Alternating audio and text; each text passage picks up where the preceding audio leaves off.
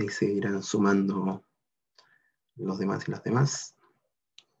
Entonces, eh, vamos a recordar un poquito de lo que vimos en la clase anterior, que fue lo último que alcanzamos a ver, fue el producto punto o el producto escalar, que era una operatoria que nosotros la íbamos a utilizar con el fin de determinar ángulos, el ángulo que se genera entre dos vectores.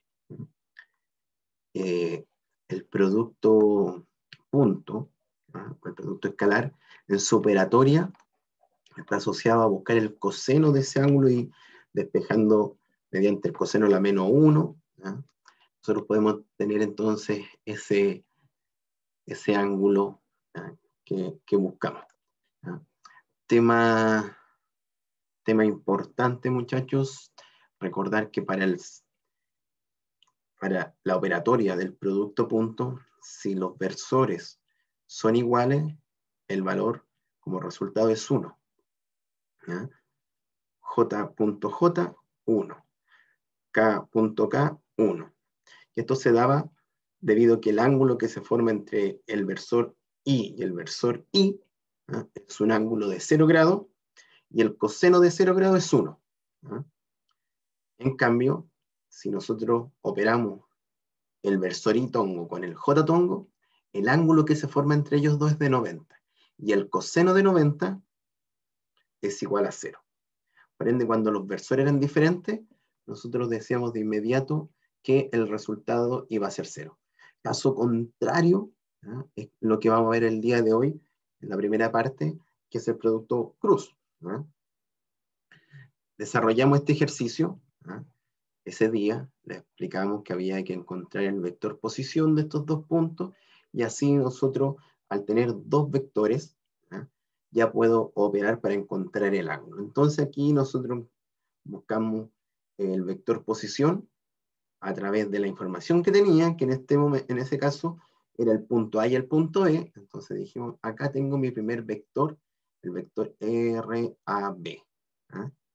Con eso podría describir un vector ahí y después el vector posición ¿ah? RAC. Por ende, el ángulo que iba a tener iba a ser el ángulo que se formaba entre estos dos vectores.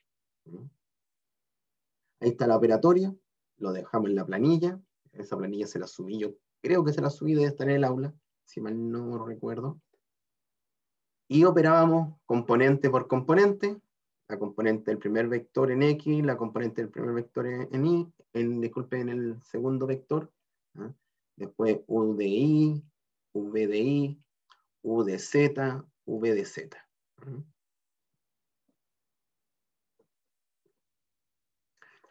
¿Dónde más podríamos utilizar y para qué vamos a utilizar un vector eh, o una operatoria de producto punto? Que sería este, esta opción de el, producto escalar.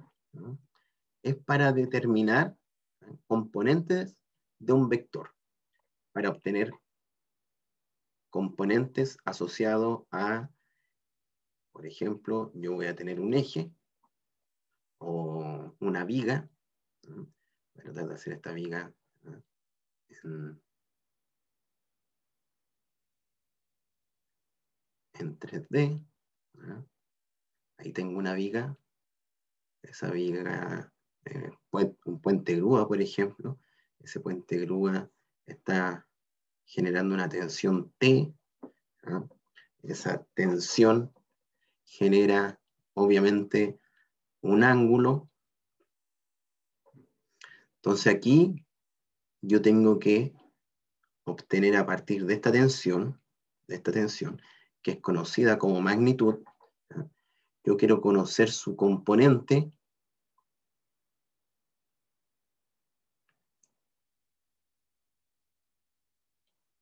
paralela a tu viga y perpendicular a tu viga. ¿Con qué fin?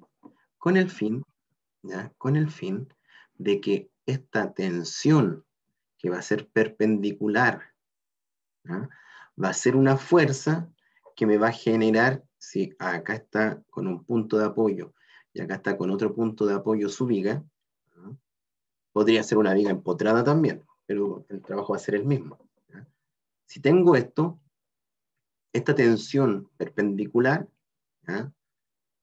me va a generar una flexión a esta viga. Me va a generar que esta viga se flecte. Y al flectarse esa viga, va a, mm, usted va a tener que evaluar si el material, las dimensiones de esa viga resiste esa fuerza que le genera un esfuerzo de flexión. El esfuerzo de flexión se describe de esta manera y su ecuación es el momento flector máximo por C, que tiene que ver con la sección transversal de su viga, partido por el momento de inercia que tiene que ver también con la sección transversal de su viga. Esto es sencillo, esto lo vamos a ver en un par de, en, unas tres semanas más, no cuatro, cuatro semanas más. En cambio, el momento flector está asociado a esa fuerza. Y vamos a utilizar un software para obtener ese valor. Y así no nos vamos tampoco a ahogar mucho en descubrirlo, pero sí, sí para obtener esto, tengo que conocer cómo puedo descomponer esa carga. Y muchachos, esto es prácticamente conocido lo que hay que hacer acá. ¿Por qué? Porque aquí usted puede decir, profe, usted nos contó el otro día que esa fuerza se podría dejarla acá. Y mire lo que yo estoy viendo, estoy viendo una especie de triángulo en el espacio, correcto. Es un triángulo en el espacio. Entonces, si usted quiere conocer esa fuerza, que sería la tensión perpendicular, sería el seno ¿ah? de este ángulo, porque es el lado opuesto. Entonces, si yo quiero conocer Perpendicular, tendría que conocer la tensión, yo le dije que se la conocíamos, por el seno de teta. Profe, ¿y el ángulo? Bueno, usted el ángulo lo va a sacar previamente, ya sabe cómo sacar el ángulo de dos vectores, pero profe, no tengo el otro vector. Voy a dejarlo en stand-by para recordarle cuando ya, mientras usted recuerde cómo podría sacar ese, este ángulo. Pero por mientras también había una tensión que va a ser paralela. ¿ah? ¿Qué sería la tensión que es axial a este eje? Que probablemente a mi eje o a mi viga, en cierta parte usted lo está comprimiendo y en otra parte lo está tensionando. Aquí se está tensionando ¿ah? y aquí usted lo está comprimiendo. ¿ah?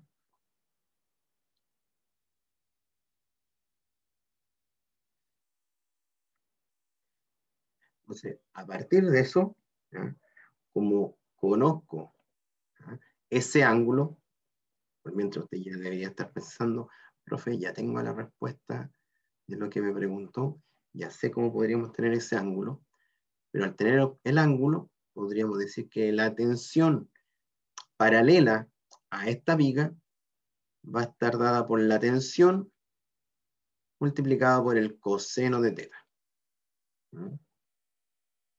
Ahí. Entonces, ya con esto podemos desarrollar lo siguiente. Voy a borrar esto, ya, ya conocido. Ahora buscaremos lo siguiente. ¿Y el ángulo, profesor? ¿Cómo obtengo ese ángulo? Tiene que generar entonces ¿ah? lo que hicimos la semana pasada. ¿ah?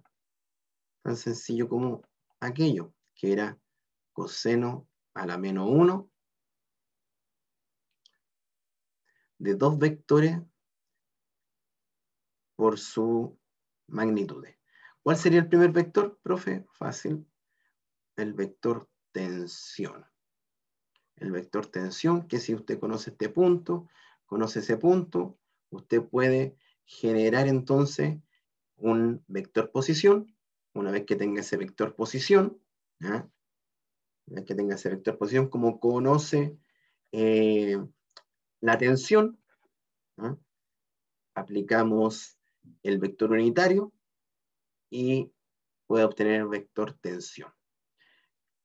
Y acá, abajito, la magnitud de su vector tensión. Y acá, profesor, el otro eje, ¿usted con quién desea sacar ese ángulo? ¿Qué ángulo es? Es el ángulo que genera este cable por el eje. Entonces acá usted va a tener que generar un eje.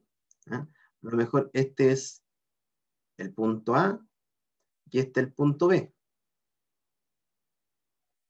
Como es el punto A y el punto B, usted puede generar un vector un vector cualquiera, un vector, por ejemplo, un vector posición, que va desde B a A. Así de sencillo. Entonces, describimos el punto A, describo el punto B, con eso tengo el vector, el vector posición ¿ah? de B a, ojo, no es de A a B, porque si tomo el vector posición de A a B, el ángulo que usted estaría obteniendo es ese, y yo quiero obtener el de acá. ¿Se recuerda ese sentido que había que tener ese cuidado? Vamos a hacer un ejercicio de esto, por ende ahí se les va a quedar un poco más claro, sobre todo los que están llegando un poquito más tarde, el profesor que está haciendo, estamos calculando componentes paralelas y perpendiculares de un vector. Porque si yo tengo esta fuerza perpendicular que genera esta fuerza a la viga, yo reconocería cuál es la, el esfuerzo de flexión que tiene que soportar esta viga. ¿ah? Y si trabajo con la fuerza paralela, ¿ah? la que está aquí, yo tendría entonces para obtener el esfuerzo normal.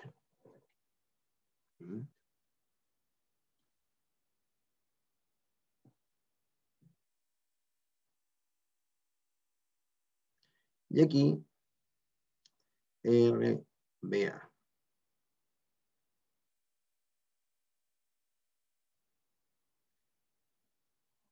Este es, lo dejé muy, muy oscuro, pero recuerde que acá, acá abajo iba solamente la magnitud. Acá arriba va el vector y aquí la magnitud. Y ahí recordamos cómo operábamos el vector, eh, el vector punto. ¿okay? El, producto punto. Entonces, como usted en el vector tensión, probablemente usted podría tener 300 y tongo más 400 J tongo, ese es su vector, y en RA, BA, usted tiene 2 y tongo eh, más 12 eh, eh, catongo, hay que operarlo. Profe, usted dijo que teníamos que ir componente a componente. Aquí sería itongo con itongo, entonces sería 300 por 2. Después el j tongo con el j tongo, este no tiene j tongo, profesor, por ende sería 0, correcto, sería 0. ¿Ah? Y el catongo con otro catongo no hay catongo, no. El resultado de esto, en este caso, sería solamente 600. Así de sencillo. Debido que no, no hay... no, no hay componente en este primer vector, no hay componente en el eje Z, y en este no hay componente en el eje eh, Y. Por ende, el único que nos quedan para operar mediante producto punto son estos dos. Entonces vamos a hacer un ejercicio después de ver lo que el producto Pero no se, me no se olvide de esto que si nos damos cuenta es el, voy a adelantar un poquito, es el, este ejercicio lo tengo que resolver con lo que vimos recién. Y tengo otro ejercicio para usar el producto cruz. Este lo utilizamos producto eh, punto. Este también es con producto punto, pero es muy parecido al que desarrollamos en la clase pasada. Es más, podríamos cambiar los datos nomás en esa matriz que hicimos en esa oportunidad en el Excel y va a estar resuelto.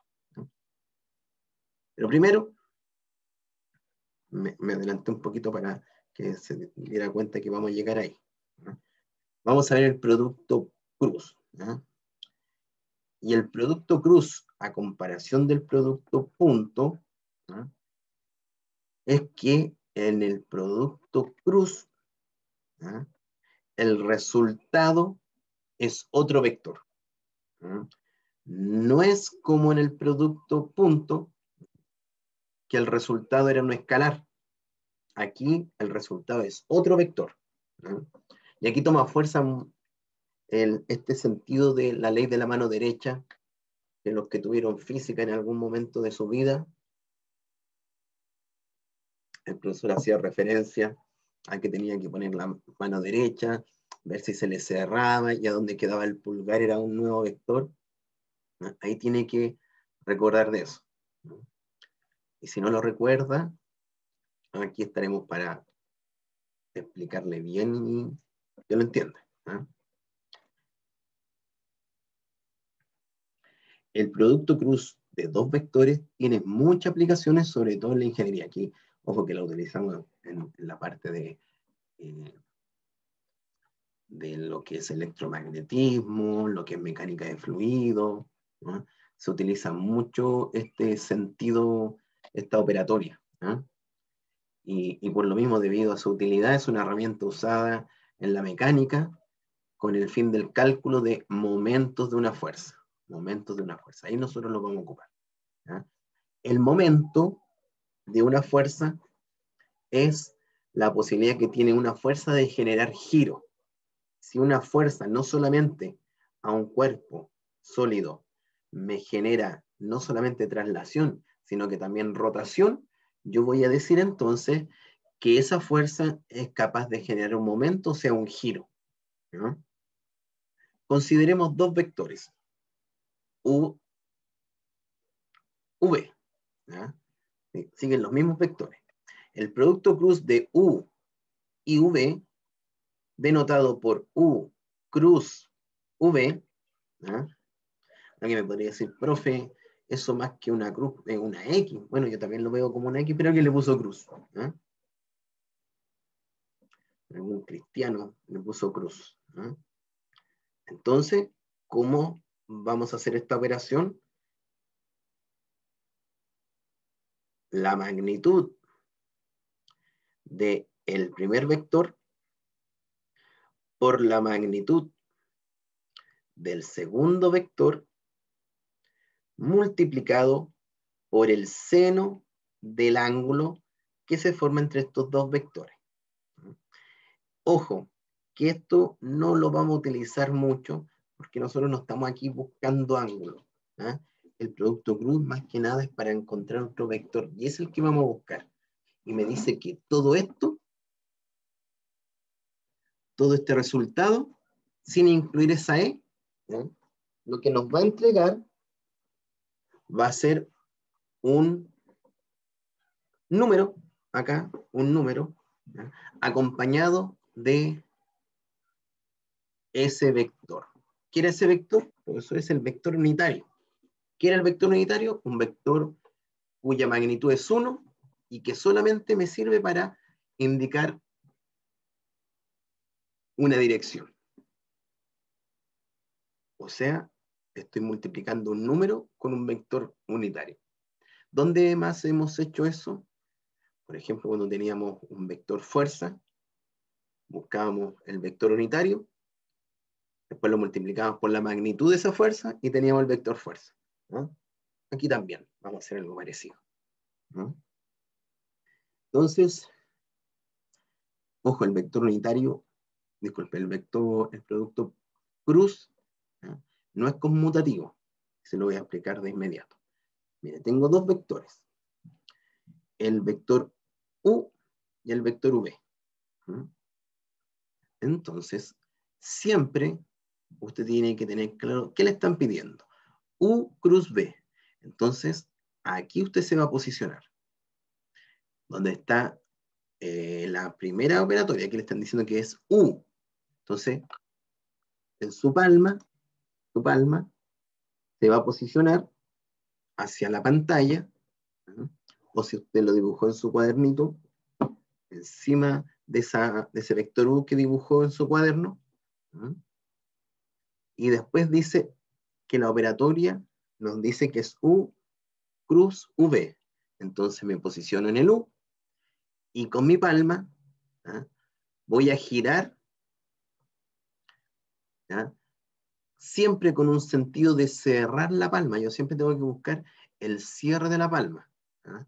Entonces voy a dirigirme de U y me voy a dirigir a V.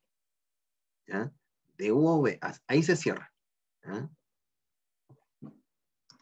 Entonces, yo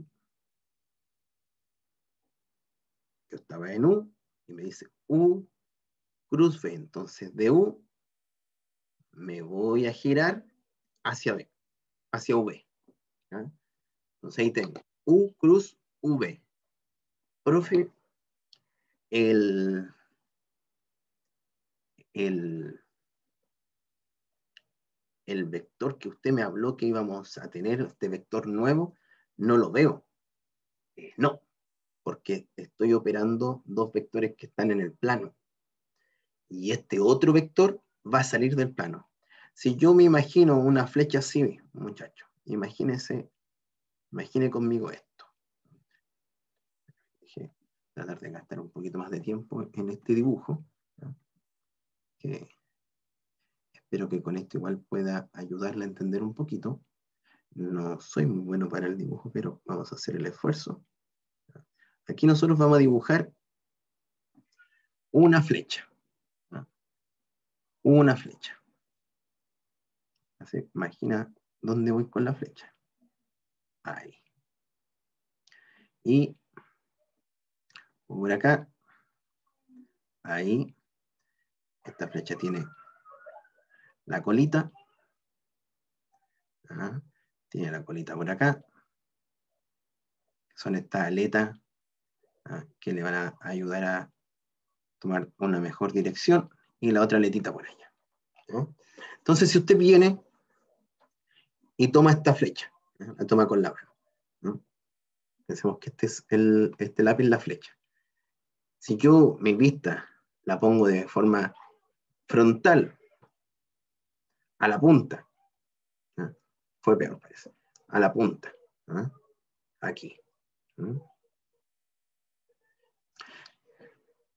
Si usted viera entonces con su ojo, de aquí hacia allá, estaríamos viendo la punta de la flecha.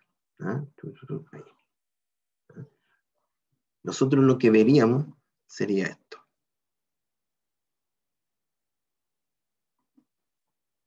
¿Ya?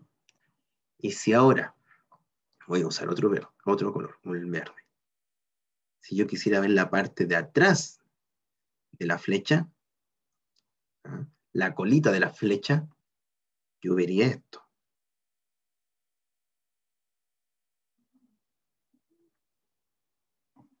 Entonces, cuando en algunos libros le indiquen esto, significa que el vector está saliendo está saliendo de su, de su cuaderno, de ese libro donde usted está estudiando. ¿ah? Y en caso contrario, ¿ah? caso contrario, si usted viera esto, usted estaría asumiendo ¿ah? que le están explicando que esa flecha va hacia abajo o va hacia el, hacia el cuaderno. Y finalmente, muchachos, es dónde va su pulgar. Porque su pulgar va a ser su nuevo vector. Tenga claro eso. El pulgar va a ser el vector nuevo que en la mayoría de las veces vamos a asumir que es el vector momento. Entonces, su manito se va a posicionar en el vector U y cerrando la palma va a ir hacia B profe, y no voy a hacer, si quiero darme la vuelta completa, no, porque es mucho más larga, siempre hay que buscar el camino más corto. ¿eh? Entonces, no voy a, voy a poner, posicionarme de esta forma. Me posiciono en U y giro hacia V. Y lo que pasaría entonces acá, que veríamos ese vector saliendo del libro, saliendo del cuaderno, saliendo de la pantalla. También más adelante vamos a decir, mira, esto es un giro antihorario. Antihorario. Y algunos libros utilizan el sentido antihorario como positivo, otros libros lo utilizan como el sentido antihorario como negativo. Hay que leer bien y poner atención cómo eh, lo expresa ese libro para entender bien y no se vaya a confundir.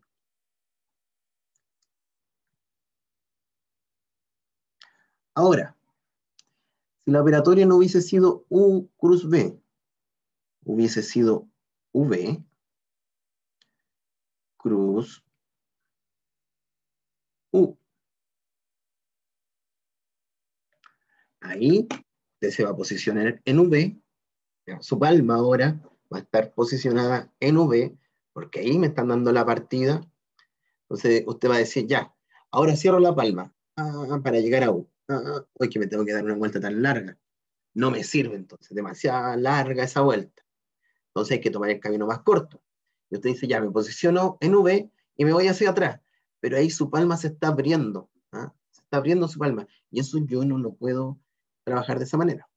Para hablar del nuevo vector, tiene que ser donde yo pueda cerrar mi palma.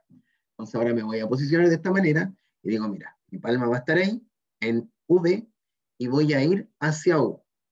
Y ahí se cierra la palma con suavidad, pero el pulgar hacia dónde queda ahora? Queda hacia la pantalla o queda hacia su cuaderno. Para explicar bien, usted lo que vería acá ya no sería ese punto. No se vería este punto, lo voy a hacer más grueso, sino que ahora usted estaría viendo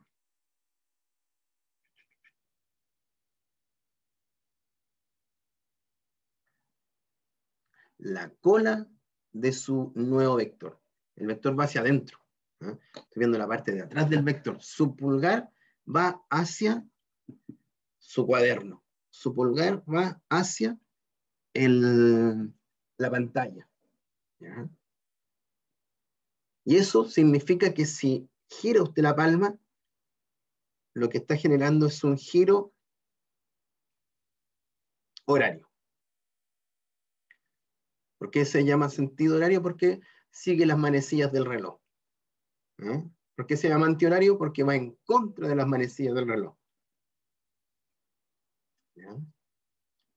Esto como concepto y como descripción del vector, pero la operatoria también tiene que ir desarrollándose componente a componente. ¿Cómo es eso, profe?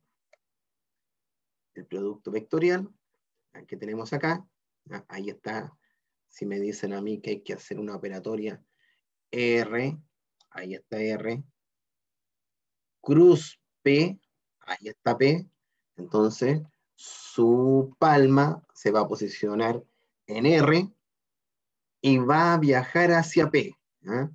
¿Cómo quedó su pulgar? Pulgar hacia arriba. Justamente hacia arriba está L. el nuevo vector. El nuevo vector. Algunas propiedades. Eh, el producto cruz ya lo expliqué, no es conmutativo. Le hice el ejemplo de que no era lo mismo U cruz B que V cruz U.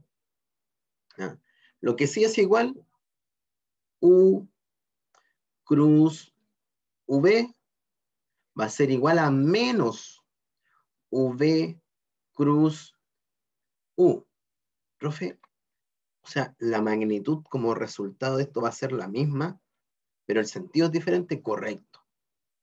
El tamaño o el largo de este vector va a ser el mismo para ambos casos, pero el sentido cambia. Este iba hacia lo z positivo y este va a ir hacia los z negativos. ¿ah? este resultado iba hacia los X positivos, este va a ir hacia los X negativos. Este resultado de esta operatoria iba hacia los Y negativos, este va a ir hacia los Y positivos. Siempre, ¿ah? si cambio la operatoria, U cruz B, ¿ah? lo cambio a V cruz U, el sentido cambia. La magnitud no va a variar.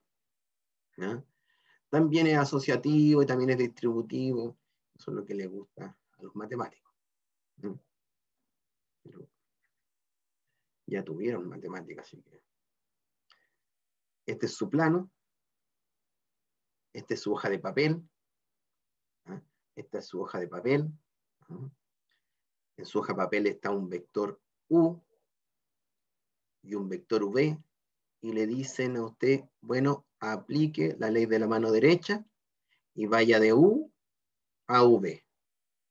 Entonces, su mano la va a posicionar en el vector U y va a viajar para cerrar su palma al vector V. Y el pulgar, ¿hacia dónde queda? Hacia arriba. Más adelante ya no le voy a llamar eh, como resultado U cruz V, sino que usted va a decir, mira, este es un nuevo vector. O mire, este es un nuevo vector. Ah, ¿qué vector es ese? El vector momento. ya que vimos las propiedades, ahora veamos cómo se tiene que operar cuando vamos ahí a la ya chica, al, paso a paso.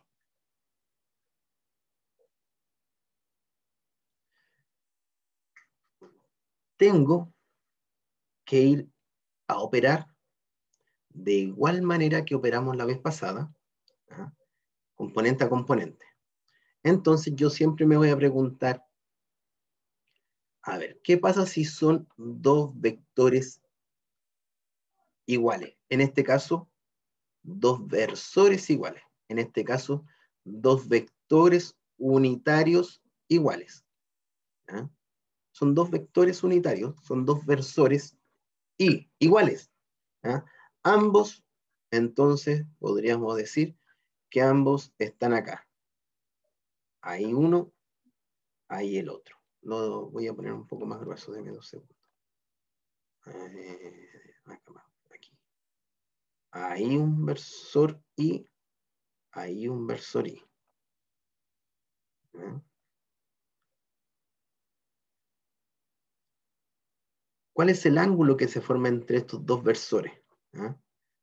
Cero. El ángulo teta aquí va a ser cero el ángulo que se forma entre J tongo y J tongo, el ángulo es cero. El ángulo que se forma entre K tongo y K tongo, ¿ah? el ángulo es cero.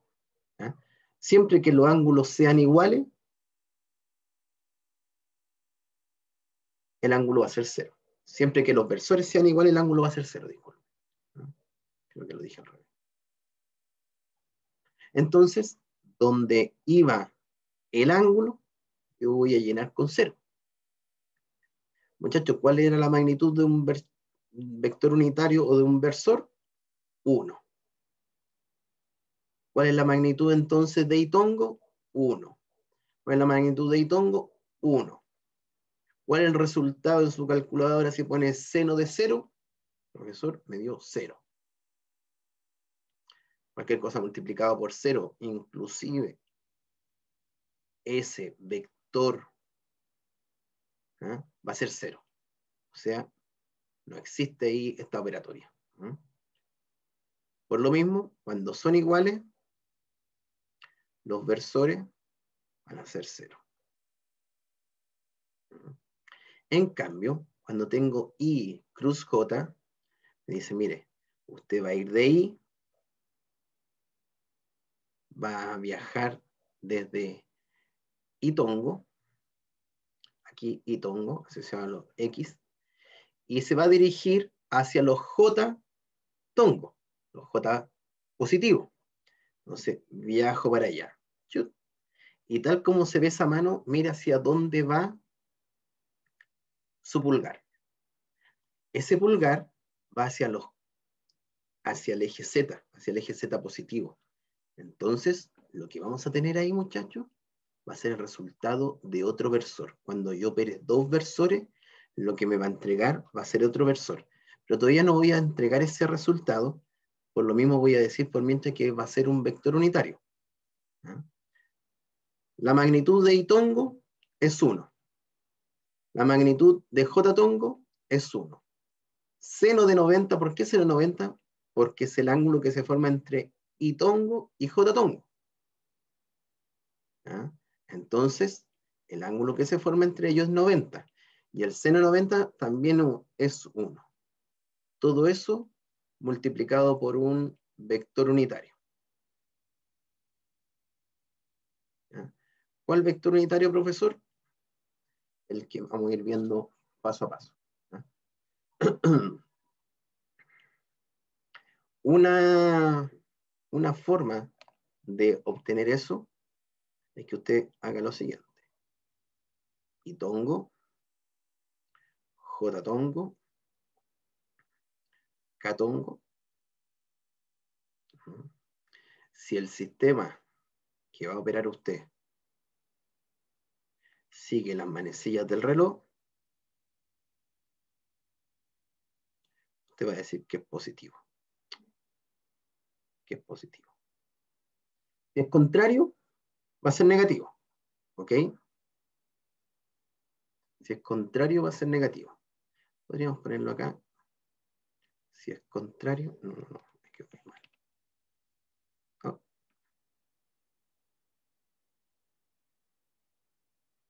Si es contrario, entonces es negativo. Sentido horario, positivo. Sentido contrario, negativo. ¿A qué hace referencia a eso, profe? Porque ahora, eh, dos segundos para hacer un compañero. Porque ahora tengo que ir a ver qué pasa componente por componente. Habíamos dicho que versorito hongo, producto cruz, versorito hongo es cero. Pero ¿qué pasa con I, cruz, J? Ah, veamos. I, cruz J, el resultado va a ser K. ¿Qué sentido tuvo este movimiento? El profesor tuvo el sentido de las manecillas del reloj. Entonces, al ser como las manecillas del reloj, el resultado va a ser positivo. ¿Ok? Veamos el otro. Y cruz K. Y cruz K, resultado J. Ahí está J.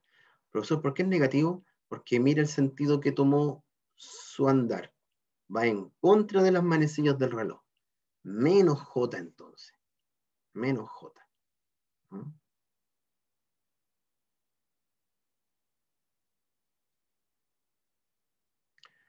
J, no borre eso. J, J cruci, J cruci, resultado va a ser K, profe, y me fui en contra de las manecillas de reloj, otra vez por ende negativo. Ahí está, negativo. J cruz J, y así puede resolver los demás. Si lo desea, lo anota, lo recuerda bien. Pero otra forma de resolver esto, que es más práctica, porque si no tendría que ir componente por componente y sería eterno, es utilizando una determinante de una matriz, la determinante de una matriz. Que probablemente lo hicieron ustedes en, en matemática. Entonces, vamos a...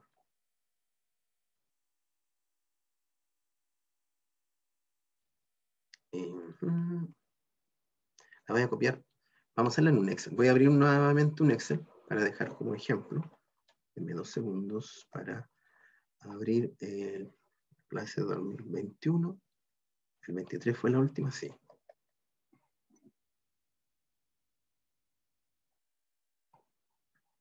así trabajo en este mismo Excel y lo vuelvo a actualizar.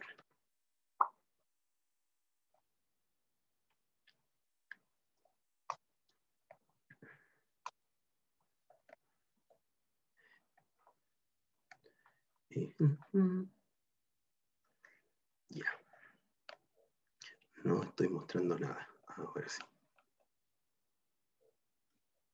Y aquí está. Compartir.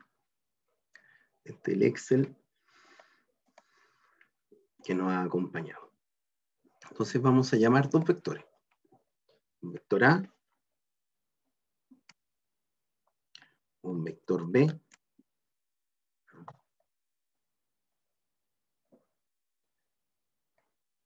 como lo he descrito, este va a ser itongo, j-tongo y catongo.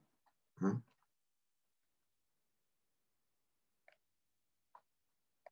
Vector j-tongo. ¿ah? Entonces acá arriba lo vamos a dejar en negrito. Esto lo voy a sellar acá. Me voy a inventar dos vectores. Dos vectores que están ahí en el espacio. Este A, que es 2 y tongo, menos 3 J tongo y 5 K tongo. El vector B 4 y tongo, 5 J tongo y menos 3 Catongo. Si usted lo hiciera en su papel, A, 2 y tongo, menos 3 J tongo, más 5 catongo. ¿Y para qué comentar cómo lo haría con V, o sea, con B? 4 y tongo, 4 y tongo, más 5 J tongo menos 3 K tongo. Ahí usted tendría aquello. Ahora me dicen, mire, usted tiene que hacer esto. Y el resultado va a ser un nuevo vector. Y el resultado va a ser un nuevo vector. Y ahí nos acordamos de lo que le decía, de aquel, de aquella eh, determinante. Cuando ustedes matemática probablemente lo desarrollaron, se lo explicaron quizás con puros números. Y aquí el Excel, el Excel, mira si yo pongo mat, eh, matriz ah, o determinante, determinante aquí, M determinante, dice, eh, devuelve el determinante matricial de una matriz. Entonces lo que yo, lo único que tengo que entregar es una matriz. Ah, profe, aquí está la matriz. Sí, pero el Excel no te va a dar respuesta asociado a ese IJK. Te va a decir que hay un error. Entonces eso no lo puedo hacer ahí. Pero me voy a acordar cómo ¿ah? resolvíamos una determinante. ¿ah? Cómo resolvíamos una determinante. Y les recuerdo que lo que primero hacíamos vamos a poner un paréntesis. Voy a checar primero nuestras camaritas. Un paréntesis. Y lo primero que vamos a obtener va a ser el valor de Itongo. Ojo, positivo aquí. No lo voy a dejar el signo porque si no está por defecto sabemos que es eh, positivo. ¿Mm? Y acá usted viene y censura esto. Esto no existe. ¿ah? Eso no van a existir en esta primera parte. Y posteriormente opera ¿ah? opera cruzado. Vas a multiplicar de forma cruzada. ¿Cómo quedaría eso? Quedaría de la siguiente manera. U sub i multiplicado por V sub Z. U sub, U sub i por V de Z. Menos, siempre es menos aquí después. ¿ah? Siempre es menos ahí. Menos U sub Z multiplicado por V sub I. Se da cuenta que el primero que parte es este. Siempre este nos va a dar la partida. Y después menos U de Z por V de I.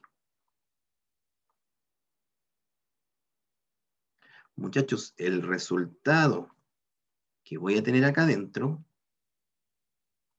va a ser el resultado de un, número. Aquí me va a entregar un número, aquí el resultado puede ser 8, eh, pero como está dentro de, este paréntesis, va a ir acompañado del litongo. ¿Mm? Profe, el resultado puede ser negativo. ¿Cómo negativo que te dé menos 6? ¿Sí? Te puede dar menos 6, no hay ningún problema.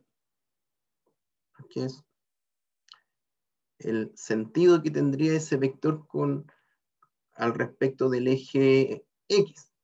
Tan sencillo como eso.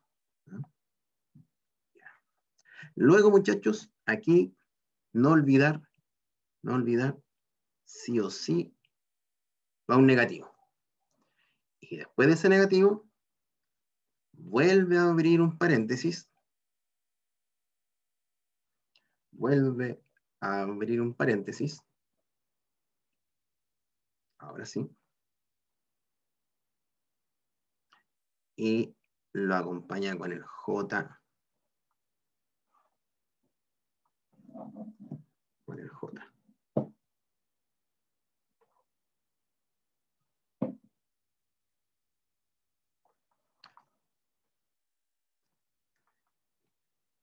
Ahora, suelto ese. Y el que tapo va a ser el que, la columna que va a estar acompañando al J tongo. Delante borré la columna que acompañaba al itongo. Ahora no. Ahora borro la columna del J tongo y multiplicamos cruzado, ¿ah? siempre comenzando con el que se ubica acá, en primer lugar, y tendríamos U de X por V de Z. Menos, aquí siempre va menos, menos. U de Z por V de X.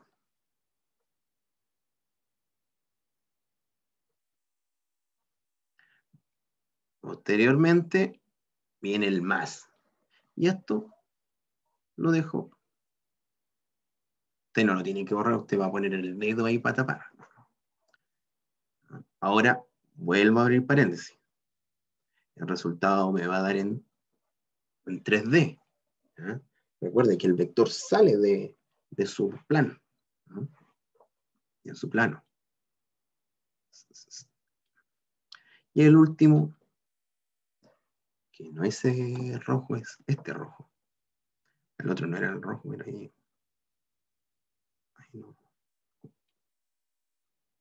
Ahí, gato. ¿Mm? Ahora me voy a censurar esto. La columna que está en el en los que acompañan al catongo, la columna del catongo. Y nuevamente comienzo con este que está aquí ese me va a dar el inicio. Y ya sabemos ya, cruzado.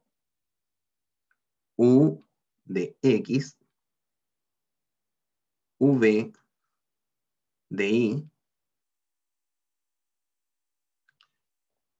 menos U de Y,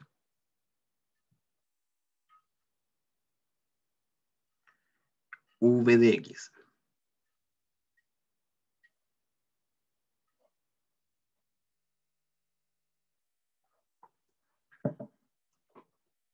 Ya, profesor. Pero no podríamos dejar esto que quede de alguna forma más automatizado, ¿sí? Voy a bajar esto Y voy a tomar esto de aquí, control C, y lo voy a plantear acá.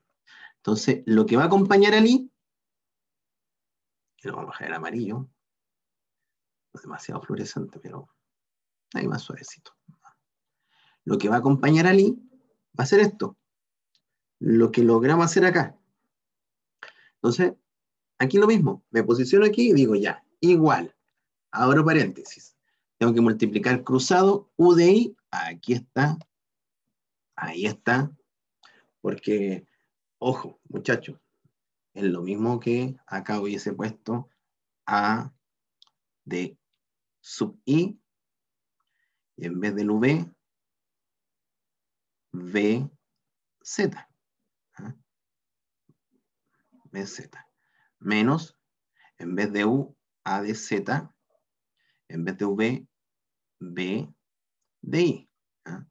Les puse otra letra para que no se no piensen que se tiene que hacer solamente con U y con V. ¿ah? Y el cambio es tan sencillo como esto. Entonces, tenemos el primero, A sub I multiplicado, A sub I multiplicado por B sub Z. Aquí está, B sub Z. Menos A sub Z multiplicado por B sub I. Ahí, cierro paréntesis. ¿Era necesario el paréntesis? No, profesor, pero lo hice ya. Menos 16. Me voy al siguiente. J. Profe, recuerde que ese siempre ya parte con un negativo. Muchas gracias, negativo. Y ahora sí que es necesario el paréntesis. Entonces, la columna J es la que tengo que tapar. Esta es la que no va. Y multiplico cruzado. La A sub X multiplicado por el B sub Z. Menos, ahí siempre vemos menos. A sub Z multiplicado por B sub X. Y cierro paréntesis. Y ahí está.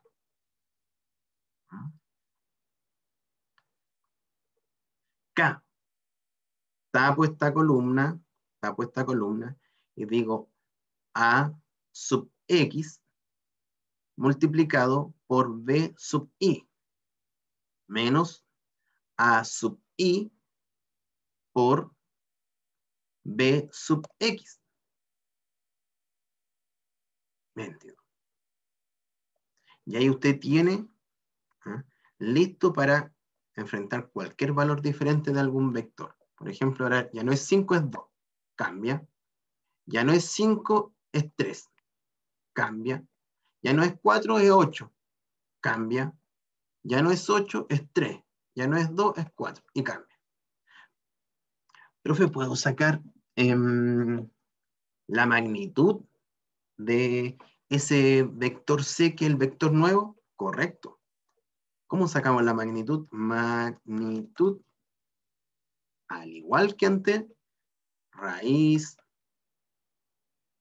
cuadrada de esa componente al cuadrado más la segunda componente al cuadrado más la tercera componente al cuadrado. Cierro y tengo la magnitud. Impecable. Entonces vamos a hacer un ejercicio de ahí y vamos a desarrollarlo en esta planilla que hicimos. Que hay un ejercicio que viene asociado eh, un ejercicio de esto y se va a resolver por sí solo. Ahora, ¿dónde está lo complejo? Que usted tiene que encontrar esos vectores que deberían ir ahí. Si usted lo encuentra, ya esto es pura álgebra, es puro Excel. Y esto yo se lo voy a pasar. Ahí no, no se pierda ahí. Vamos acá el momento de una fuerza ¿ya? Se puede generar como una expresión vectorial. Entonces, como anteriormente yo le hablaba de A cruz B y obteníamos un nuevo vector C. Ahora aquí, la única diferencia que en vez de A, va a ser el vector R. ¿Qué era el vector R, muchachos? Profesor, el vector R era el vector posición. Correcto. Producto cruz. Ahora, producto cruz. ¿Ya? Y en vez de B, va a ser el vector fuerza. Y en vector de C, eh, en vez del vector C, que sería este resultado de un nuevo vector, nosotros vamos a llamar a este como el vector momento en el punto de origen de toda esta fuerza. De todo este momento, disculpe. Eh, el momento de una fuerza F, aquí está. El momento, recuerde, una fuerza F es una fuerza capaz de generar un giro. ¿ya? Porque muchas fuerzas generan solamente traslación. Esta fuerza tiene que generar rotación. Y si puede generar traslación, también está bien, pero mientras que genere rotación, ya es un momento. O sea, el momento de una fuerza F con respecto al punto O, ¿a qué punto? Un punto O en el espacio. Y una fuerza en el espacio. Este es mi vector fuerza. Este es mi vector fuerza. Para obtener el momento, nosotros tenemos que describir esto. Ahí. Lo que acabo de dibujar es mi R. Entonces, muchachos, R va a ser su palma. Y F va a ser cómo tú tienes que cerrar tu palma. Entonces, si se posiciona de esta manera, ¿ah? vamos a tener R, y si veo que F me está abriendo la mano, ya tengo que girar, porque no me permite, recuerde, es abrir la mano. Tengo que hacer que me cierre esa palma. Entonces me voy a posicionar en R, ahí va a estar mi palma, justamente en esa línea mi palma, y F que es la fuerza que me va a generar en las uñas, por ejemplo, me va a hacer que se cierre mi palma y mi pulgar hacia dónde quedó, profesor, quedó hacia la pantalla. ¿Ah? Profesor, a usted le generó entonces esto un giro horario. Muchachos, cuando nosotros trabajemos el momento de una fuerza, pero no como expresión vectorial, sino como una expresión eh, escalar, yo tengo que lograr que aquí se genere un ángulo de 90 grados. Pero cuando lo trabajo en forma vectorial, no es necesario porque ese trabajo de buscar esa, esa ortogonalidad lo desarrolla la determinante de esa matriz. Ella se va a encargar. Entonces ahí nosotros nos despreocupamos.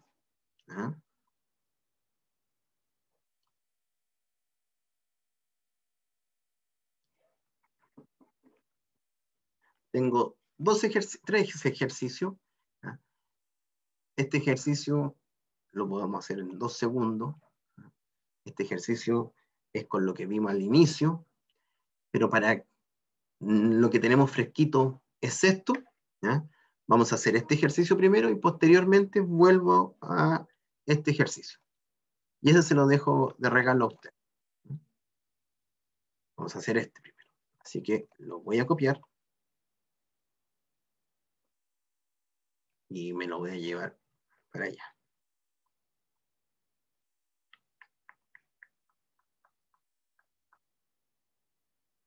¿Por qué no lo copió? Ah, sí lo copió. Ya. Espéreme. lo dejo, lo dejo al tiro para que usted pueda escribirlos en caso de que lo desee escribir. Muchachos, pueden escribirlo. Le doy ese momentito.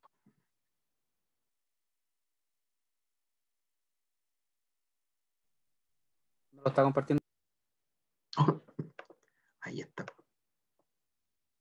Ahora sí.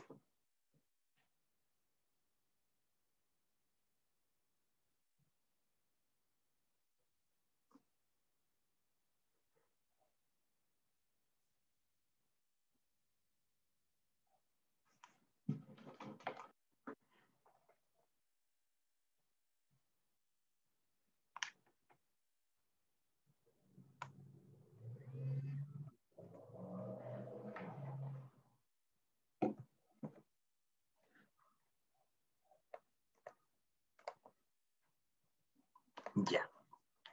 Entonces dice, un trabajador tira de una cuerda con una fuerza de 130 newton. Voy a escribir acá.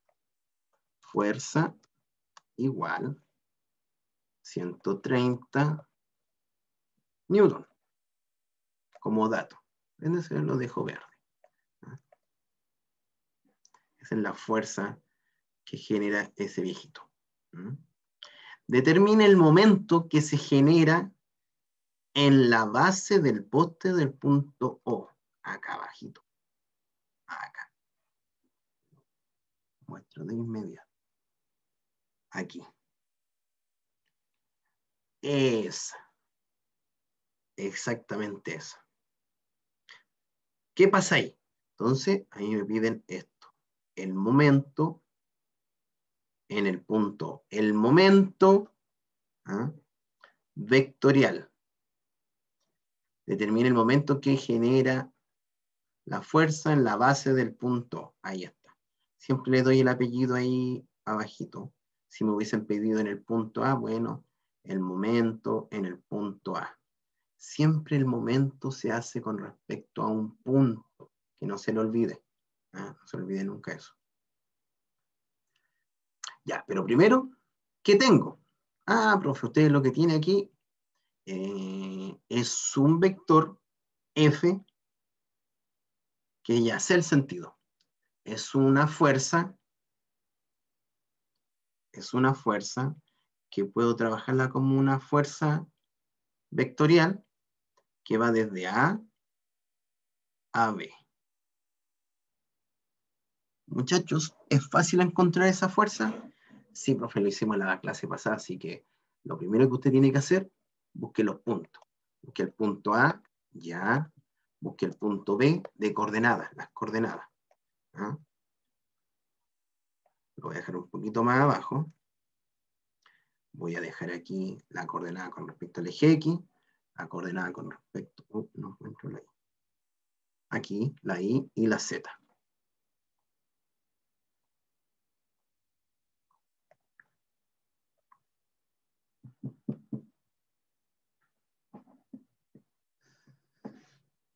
Entonces, buscamos la coordenada A, que es, en la punta del poste. ¿ah? Está ahí arriba el punto A, donde justamente se amarró ¿ah? esa soga, esa cuerda. Ese punto A. Entonces, digo, a ver, ¿cuál es la coordenada con respecto al eje X?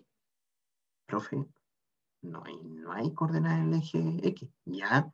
Y en el eje Y tampoco, parece que solamente tiene coordenada en el eje Z, ¿correcto? Ahí sería un 0, ahí sería un 0, y ahí sería 10,5. ¿Está bien eso? Sí, porque va a estar malo. Si son coordenadas en el espacio, que tienen que tener todas las coordenadas, no, está justamente en el eje Z. Para el punto B, ah, aquí sí que sí. En X, en X, este individuo avanzó 4 metros hacia los X. Y avanzó 4 metros hacia los X positivo. ¿Ya? Ojo con eso, porque en los I también avanzó, pero hacia los I negativos. No es 3, es menos 3. Y en Z, él no está tirando acostado y que esté tirando en el, piso, sino que está parado y está generando esa fuerza hacia él. Entonces, él tiene ahí una distancia de 1,5 metros de donde está generando esa fuerza. Ahí están sus coordenadas. Profe, ¿para qué hizo eso? Porque, porque recuerden lo que yo quiero lograr en este ejercicio. En primera instancia, quiero encontrar la fuerza vectorial FAB. La requiero. ¿Por qué la requiere, profesor? Porque Profe. ¿Sí? Ah, ¿Por qué la X le da positivo, profe? Porque, ¿Y por qué me debería dar negativo? Respóndame eso usted. Mm, ¿Por qué lo dejaría usted no, negativo? la estoy viendo mal. Aquí está el eje X. Entonces este caballero caminó para acá. ¿Sí? Ahí. Por eso quedó positivo. Ah, ya. Ya. sí. Y en cambio el I, ahí se fue en contra. Ahí se fue hacia el I. Perfecto. Ya, profe. Sí. No hay problema. Lo que quiero encontrar entonces es lo que habíamos visto recién en, en la parte de la PPT, que el momento vectorial está dado por R cruz F. Entonces ando en búsqueda, ando buscando esa F. Ahí está. Ando buscando esta F. Que obviamente la única F que tengo por acá es la fuerza que genera este individuo. Y por lo mismo, me di cuenta que tenía, que tenía algunas cositas, como dos puntos en el espacio. El punto A y el punto B, entonces dije, mira, voy a generar entonces este vector, pero no saco nada todavía. ¿Por qué? Porque para llegar a obtener esto, primero tengo que conocer esto. R, A, B, el vector posición. Es la única manera de poder llegar a encontrar este, esta fuerza, este vector fuerza. ¿ah? Entonces, mano a la obra, que recuerden, yo puedo obtener, esto lo hicimos en la clase pasada, para obtener eso va a ser la fuerza conocida de, por el vector unitario ¿ah? A, B. Y el vector unitario A, B va a ser el vector posición AB dividido por la magnitud de ese vector AB. ¿Ok? Entonces en eso estoy. Ese ha sido el camino que estamos siguiendo. Entonces aquí yo digo vector posición. El vector posición R A B. Lo dejamos más pequeño. Y esta R la dejamos más grande. Y en negrita. Lo bajo 1 para decir que aquí, como estoy trabajando con un vector, me quedaría ni tongo, j tongo, k tongo.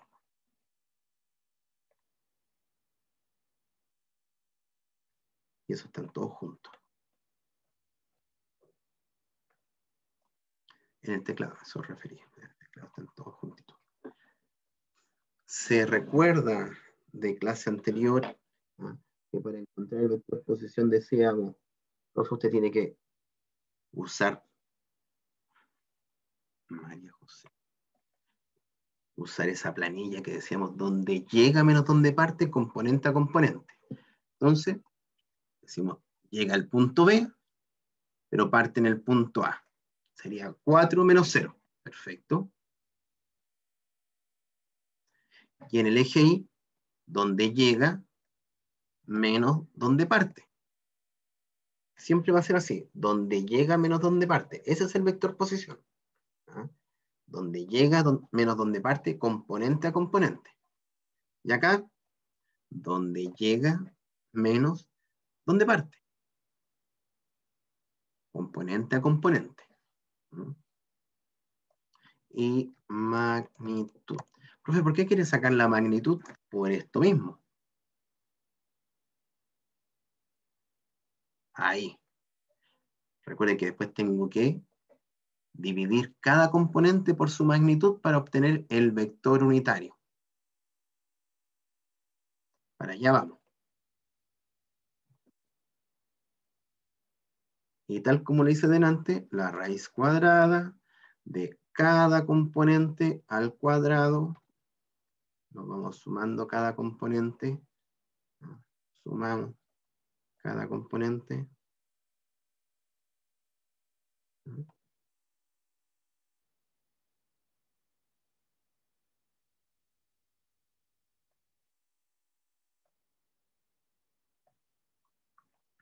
Y acá ya puedo obtener el vector unitario. Y le voy a dar el vector unitario el nombre del vector UAB, porque sigue denotando que es esa dirección, de A a B. No ha variado esa idea de buscar esa dirección. ¿Ah?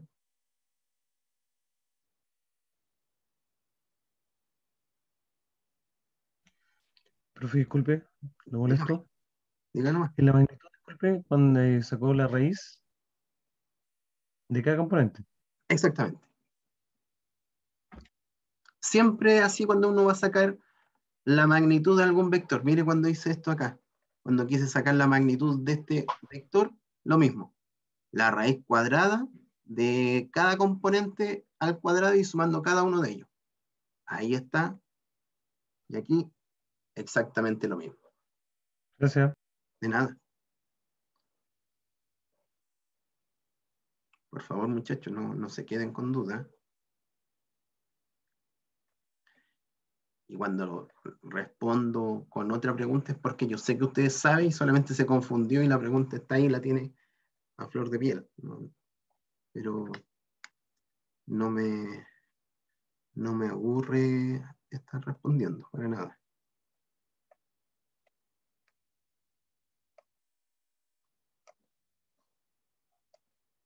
Ni me molesta, para nada.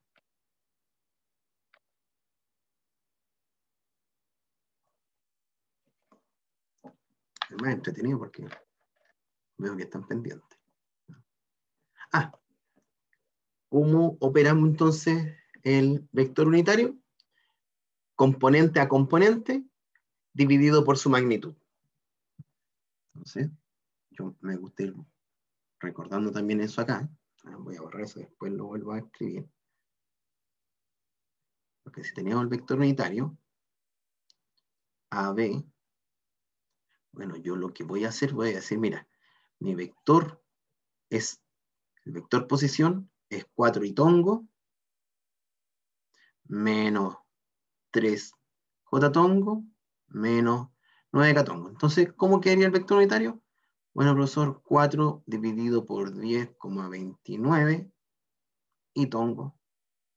Ojo que 29, 6, bla, bla, bla, pero por espacio. Menos 3 dividido 10,29 J tongo. Menos 9 por 10,29 K tongo.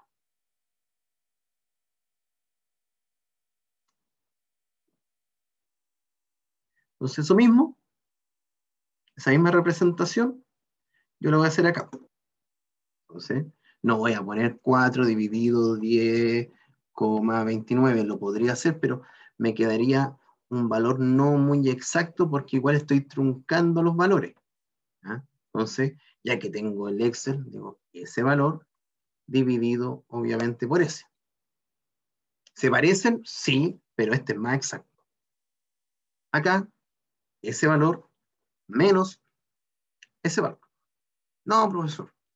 ¿Por qué está restando? Porque me equivoqué. ¿Cómo tiene que ir?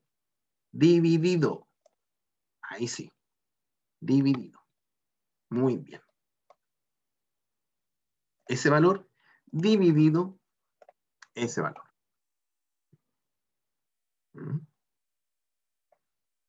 Control C, control B, doble clic, la raíz cuadrada de la suma de cada componente al cuadrado, ¿qué valor me da? 1. Ah, perfecto, está muy bien, porque la magnitud de un vector unitario es igual a 1.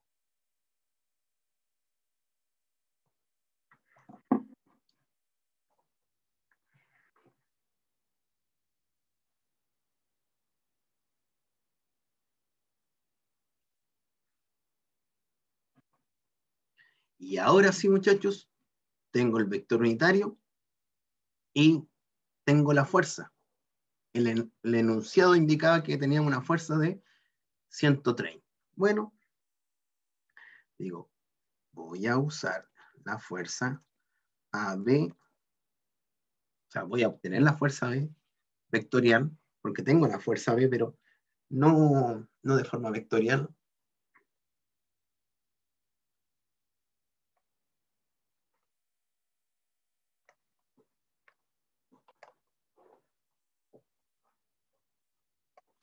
Control C, Control V.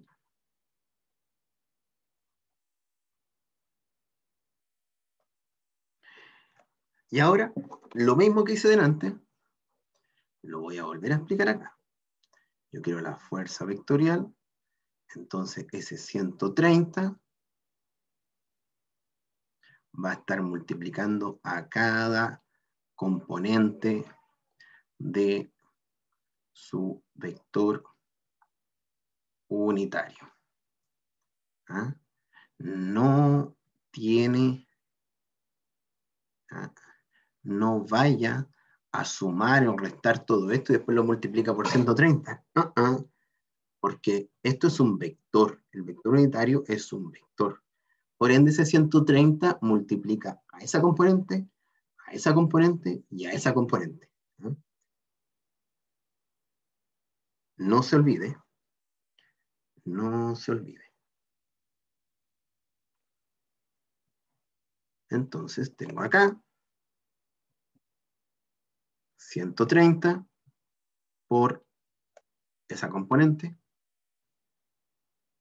130 por la segunda componente, la componente J del vector unitario, para ser más exacto, y para la componente Z de la fuerza FAB, tengo la magnitud multiplicada por la componente Z del el vector unitario. Y ahí tengo mi fuerza, ¿ah? mi vector fuerza. Muchachos, ¿cuál sería la magnitud de este vector fuerza? ¿Cuál debería ser la magnitud de ese vector fuerza? La sumatoria. O sea, el valor de Uno. ah, ah, de 130.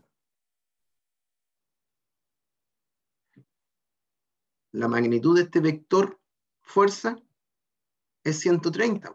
Si esta es su magnitud, 130, 130. Mire, cada uno de sus componentes al cuadrado le saco la raíz. ¿Cuánto me va a dar? 130. ¿Profe, el mismo de acá? Exacto. Si la magnitud de esa fuerza está ahí, 130. Siempre nos dijeron. ¿Ah? O sea, ahí ya, ya entiendo un poquito más. Ah, eh, esto, ¿ah? este vector está asociado a esta misma fuerza que me están entregando acá. Claro que sí. Claro que sí. Entonces ya cumplimos el primer paso. Encontrar este vector fuerza.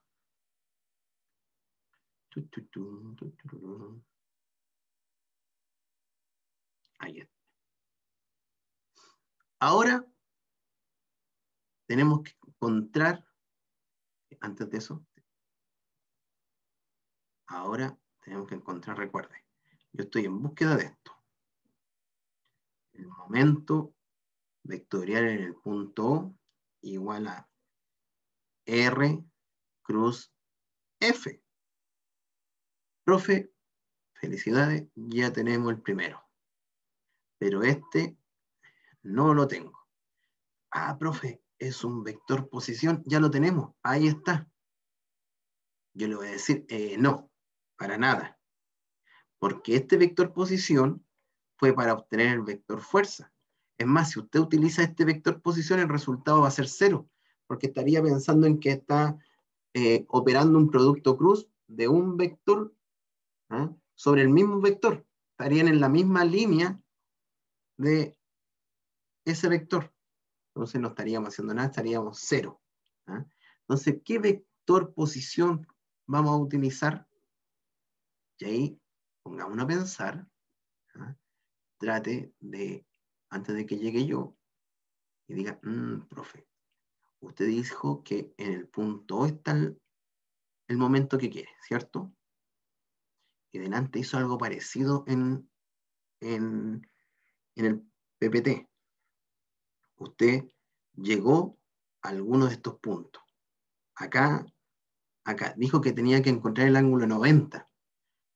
Yo le digo, sí, pero le dije que ese ángulo 90 lo vamos a hacer cuando trabajemos con un vector, eh, disculpe, cuando lo trabajemos en un momento escalar.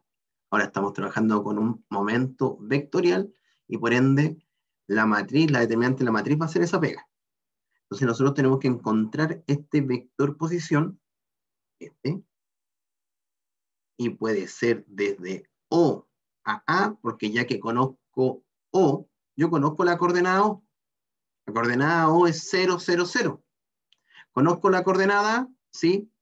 Perfecto. Pero también... Mm, mm, mm. No, suprimir. Pero también conozco la coordenada B. Entonces, muchachos, ustedes pueden utilizar cualquiera de las dos. El ROB o el ROA. Van a llegar al mismo resultado. Y de ahí se los voy a mostrar para que se dé cuenta que no le estoy mintiendo. ¿Mm? Para que confíe en lo que le digo. Probablemente no me cree todavía, pero de poco. R o A. R o A. Voy a borrar esto por mientras. Entonces, ya que estamos por acá, voy a subir ese. Voy a subir esto y voy a poner el punto O. O, dos puntos. Y voy a buscar la coordenada de O. Profe, usted dijo que era 0 en X, 0 en Y y 0 en Z. ¿Es así, muchachos? Eh, vean. Vea que está ahí justamente en el origen. 0 en X, 0 en Y y 0 en Z. ¿Mm? Entonces, ahora voy a poner vector con mayúscula. Vector posición.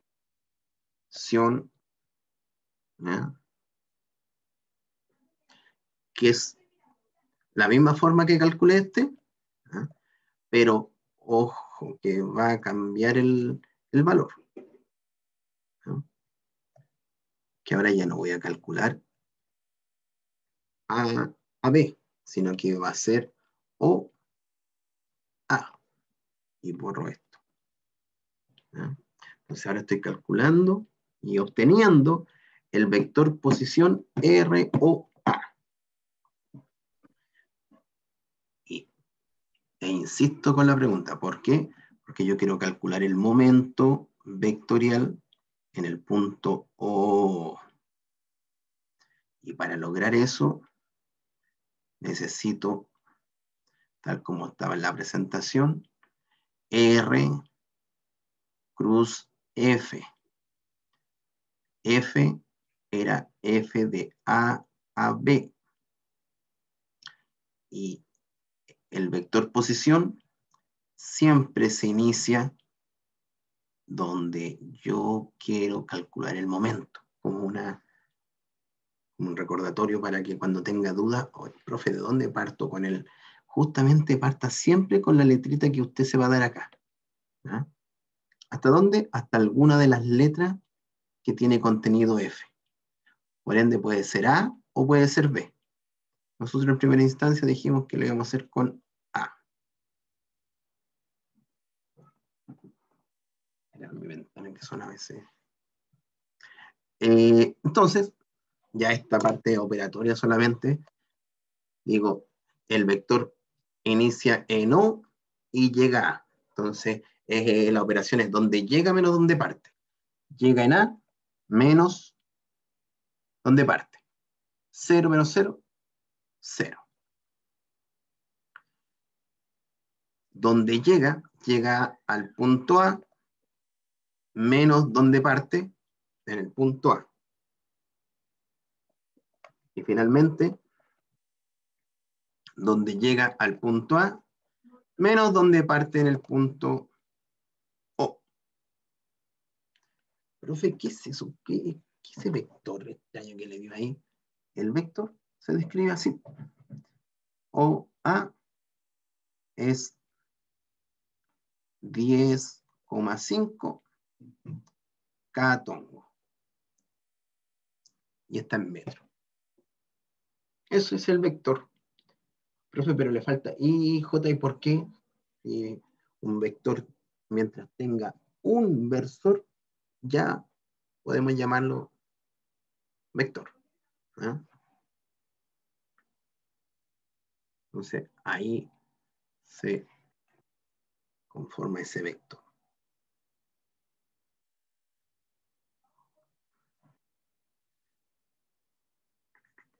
Ahora. Pero así se leería, profe. ¿Se leería como catongo entonces? Sí, 10,5 catongo. Así de simple. Voy a copiar esto. ya lo tengo, no vamos a hacer de nuevo esa operatoria. Y aquí, en vez de A, van a ir cambiando las cosas. Ya no va a ser A cruz B, sino que va a ser en vez de A, el vector posición R o A. Control C.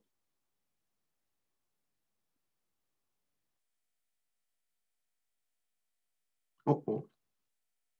No me quedó horrible, espérame. Control C, Control B. Ahí sí. Ahí sí.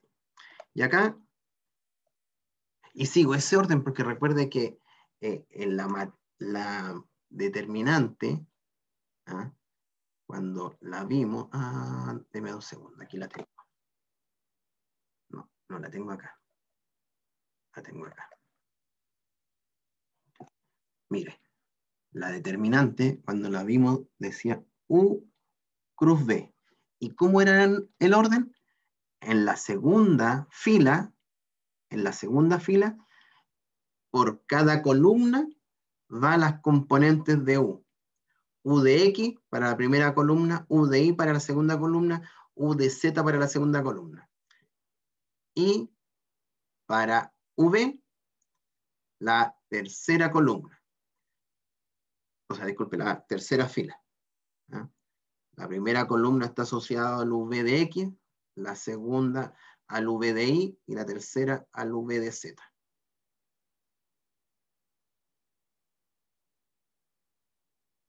Vuelvo acá. ¿Profe? Dígame.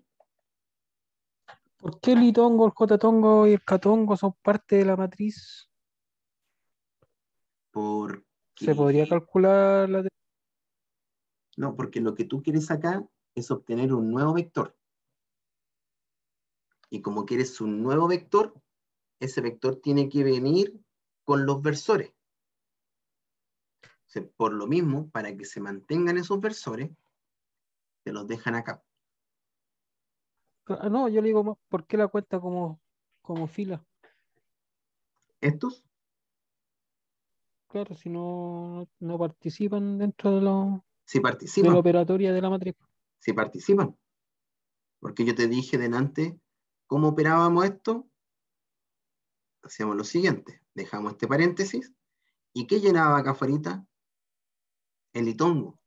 Y era porque estoy asociando esto. Esto los borraba en primera instancia pero este se mantenía, quedaba aquí. No lo vimos porque estaba como escondido, mirando de lejos, pero está ahí. Ah, ya, ya, ya. ¿Sería cuadrada igual, profe? ¿Cómo? ¿Sería igual matriz cuadrada? No lo entiendo. Sería, una matriz cuadrada. Sí, pues matriz cuadrada. Eh, esta de 3x3. Sigue siendo una matriz de 3x3.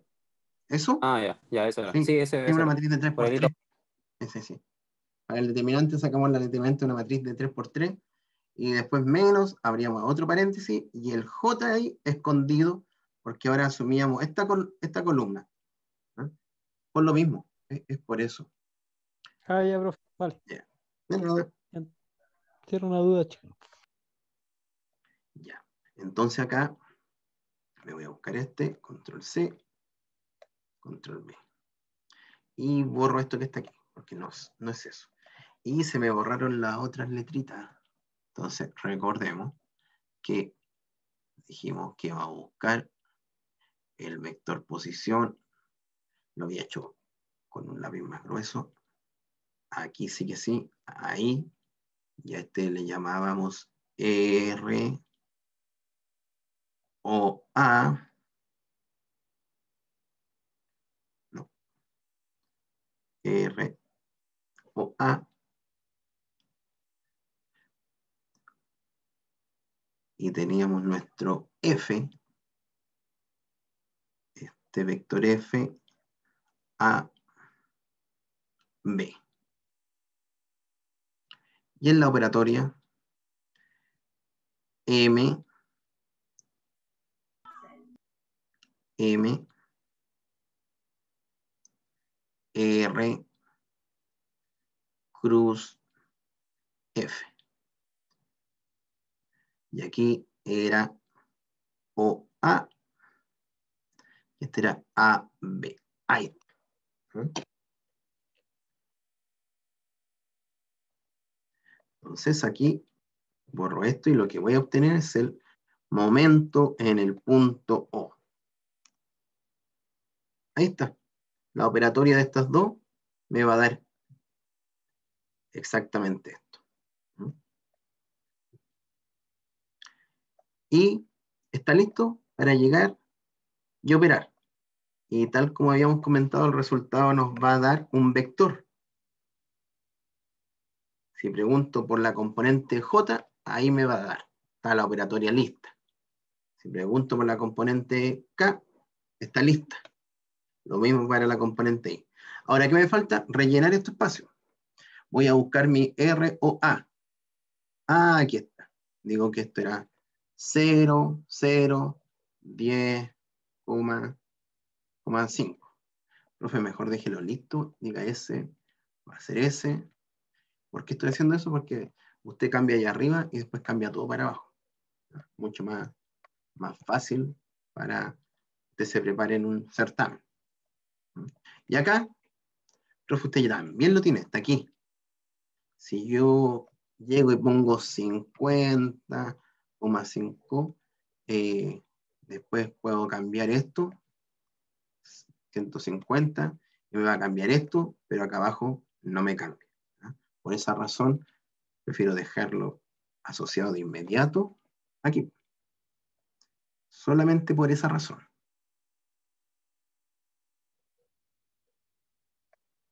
Y mire, ya abajo se está generando un valor.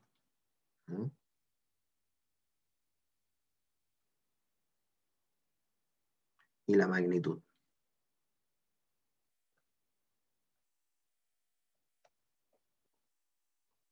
Ahí está. ¿no? Ese es el vector momento. ¿Cómo quedaría ese vector momento? Si yo lo dibujo, el momento vectorial en el punto A se da en el plano. ¿Por qué? Porque se da cuenta que no tiene componente en Catongo. Sería 397,7 y Tongo más 530,32 J Tongo. Profe, ¿y el catongo dónde lo dejó? No está. No es necesario porque es un cero. ¿no? No es que no estén. Es cero. Muchachos, ahora piénselo bien antes de responderme. Mm, todavía no piense. Le digo al tiro lo que tiene que pensar. Quiero subirlo un poquito. Aquí. ahí. Pero tú no. Tú vente para acá. Ya. Entonces, si nos damos cuenta, el vector momento, yo lo puedo obtener. Puedo decir, mire, profe, avance en X 397 metros.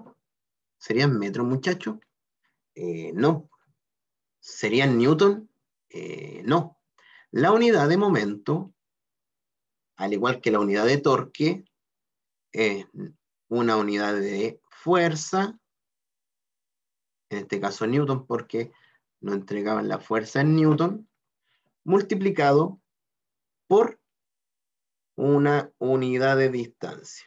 Newton metro. ¿Por qué metro? Porque aquí estaba metro, porque ahí estaba metro, metro.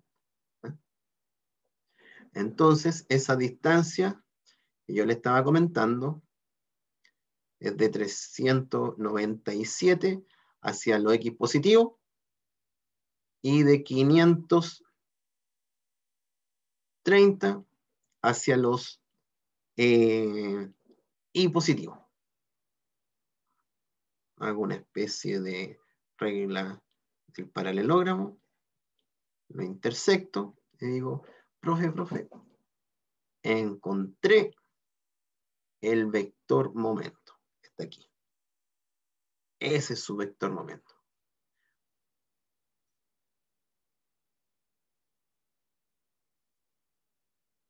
¿Por qué lo dejo ahí? Porque no tiene componente en Z, por ende está en el plano.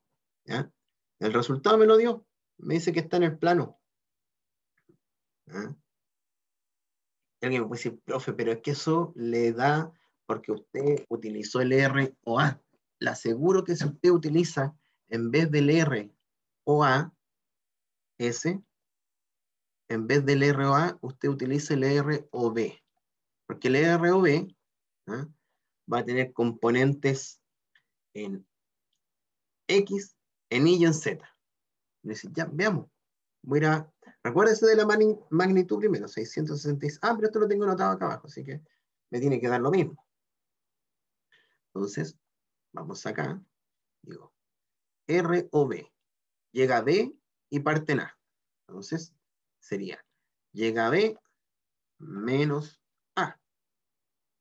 4 llega a B menos donde parte. ¿Ah? Parte en el punto 0. 1,5 menos donde partió. Mire el vector. Totalmente diferente. Totalmente diferente. ¿Se recuerda que el otro era 10,5 catongo? ¿Alguien me preguntó? Sí, 10,5 catongo. Aquí no. Este es 4 y tongo menos 3j tongo más 1,5 catongo. Entonces ahora espero que me dé algo parecido, porque si no todo lo que le he estado diciendo no me va a creer. ¿eh? Ah, me salvé. ¿eh?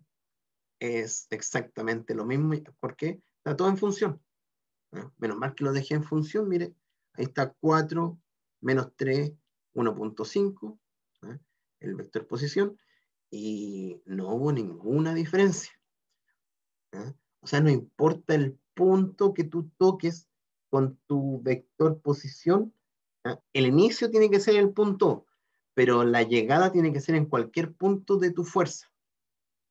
Porque el determinante se encarga de trabajar de forma de ortogonalidad en el espacio. No así cuando lo trabajemos en el plano. Ahí nosotros vamos a tener que buscar ese ángulo de 90 grados.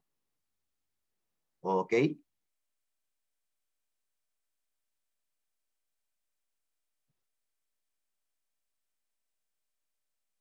¿Dudas? ¿Comentarios? Por acá no, profe. Yo comprendí igual. Perfecto. se hace, se hace fácil tanto con el Excel y después como lo explica de forma manual. Así lo voy, se traspasa el cuaderno igual. Perfecto. Igual trato de, las dos formas para que eh, vayan ustedes rayando y, después por último es ver o tomar el mismo Excel que yo se lo subo y que quede ahí con, ese material. Profe. ¿Sí? Lo que sí, el, Excel de la clase anterior, eh, yo por lo menos no lo encontré sin el aula. ¿Mm? A lo mejor no lo subí. Ahí por si acaso en una de esas para que después revise, por favor. Sí, es más, voy a Sí, grabar. también lo esto. estoy buscando, profe. Gracias. Entonces fue mi culpa. Es este. Sí. Ya, estos ejercicios no estaban. Ya lo vamos a subir de ahí. En el break ya voy a subir esto. Eh, nueve. Tomemos un break hasta las 9. Hasta las 21 horas. ¿Ya? Ya, profe. Vale, profe. Ok, profe. Punto, profe, vale, gracias. Voy a pausar la grabación. Para que si se pierden ahí, me queda grabadito.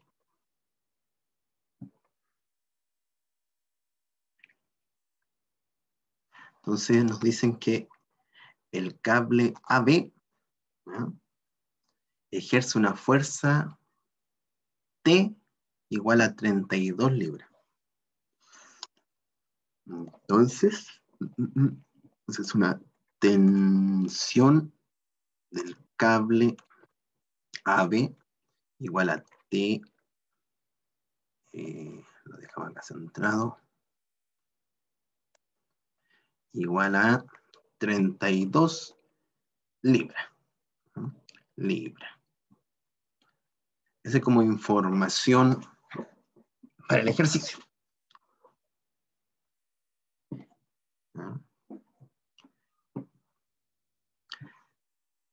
Dice entonces el cable AB ejerce una fuerza de 32 libras sobre el collarín. El collarín, el collarín es este. Ese. Ahí está el collarín.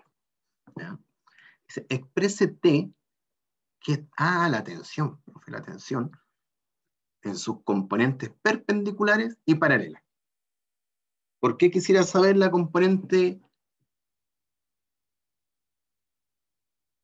perpendicular? Porque así vería cómo afecta la flexión a esta barra y si la resiste o no. Porque más adelante, al terminar el semestre, estaremos viendo el esfuerzo de flexión y si los elementos resisten o no resisten este esfuerzo de flexión. Pero para llegar a eso, tengo que tener claro qué fuerzas me van a generar tensión, qué fuerzas me van a generar compresión, qué fuerzas me van a generar un esfuerzo normal de compresión o tensión. También de fuerzas de corte. ¿no? Todo eso hay que analizarlo. Y por lo mismo, tengo que ver esto que estaba dibujando. Entonces, primero tengo que llegar al convencimiento de que para lograr encontrar respuesta a esto, necesito un ángulo. Y el ángulo es este ángulo que se va a generar entre el cable AB, que es la tensión, con el, la barra.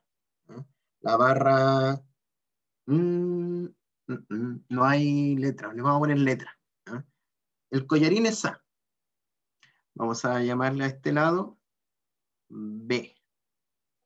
¿ya? Este va a ser, aquí está B. No lo había visto. Entonces este va a ser C. Y este va a ser D. ¿Ah? Ahí si lo está usted escribiendo ¿ah? en su cuaderno, ¿ah? lo, lo indica.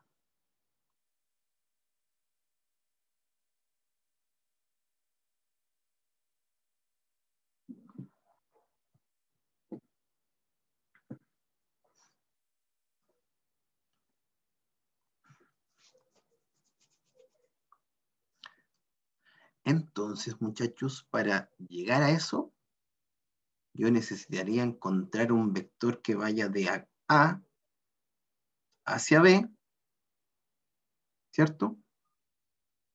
De A hacia B y de A hacia D. ¿Ok? Profesor, me serviría un vector que vaya de D a A sí le serviría, pero lo que estarías encontrando sería este otro ángulo. Entonces, ya que sabemos que queremos encontrar ese ángulo que se forma, no me sirve ese vector que acabo de dibujar. me sirve este. El vector AD. Ojo, que también me sirve el vector CD. También me sirve. No hay problema con eso, porque está en la misma línea. ¿Ah? También me serviría un vector unitario que vaya por aquí, cuya magnitud es una, pero me da la dirección, entonces es un vector que traza esa dirección, así que también me sirve. Tengo varias opciones en este caso. Tengo varias opciones. Entonces, lo primero que vamos a desarrollar acá son las coordenadas. Yo tengo algunas coordenadas acá, entonces vamos a buscar esas coordenadas. Vamos a indicar el eje X, el eje Y y el eje Z.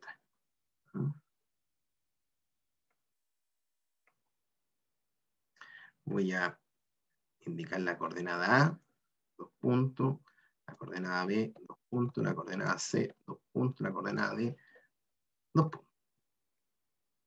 Y. Y completamos.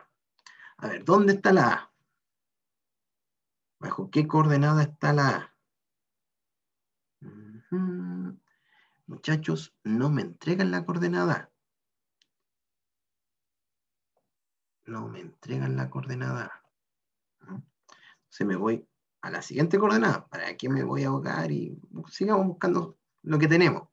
¿ah? Lo que tenemos en este momento. Si después lo puedo encontrar de otra manera, bienvenido sea. Pero me dice, profe, y si hacemos un trabajo de, generar triángulo, ir encontrando la coordenada, toda opción es válida. Entonces la coordenada B en X, y ojo acá donde está el eje X, para que no se me vayan a perder, aquí está mi eje X, aquí está mi eje Y y aquí está mi eje Z.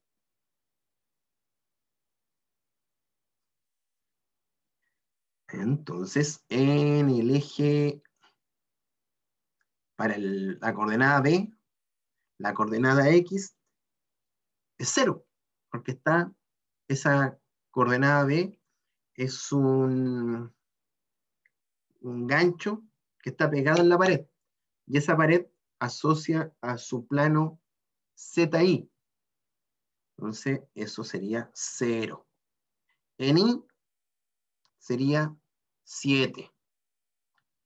¿Positivo? Sí, porque va hacia arriba y recuerde que ahí está el I positivo. Y en Z serían 4. ¿ah? Todas estas coordenadas están en la unidad de pie. ¿ah? En pie. Si me hubiese tocado en este ejercicio calcular el momento, la unidad me hubiese quedado en libras pie. ¿ah? No es el caso, pero para que mantenga ahí esas unidades. El punto, la coordenada C. En X, también en 4. En Y, 0. Y en Z, también está en 4. ¿ah? Acá abajo. En el plano, en el plano, el punto C está en el plano XZ. Por ende, no tiene componente en el eje Y. Tiene componente en el eje X positiva y tiene componente en el eje Z positivo, ambos en 4. ¿ah? Cuatro pies y cuatro pies.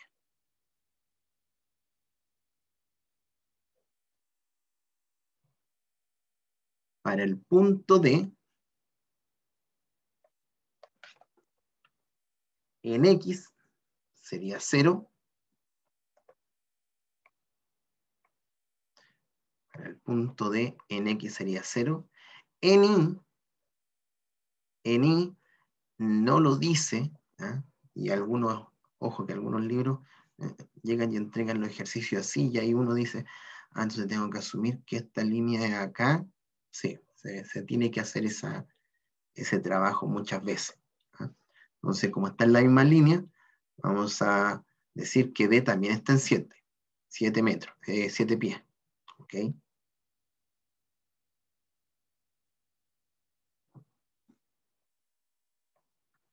7. Y en Z 0.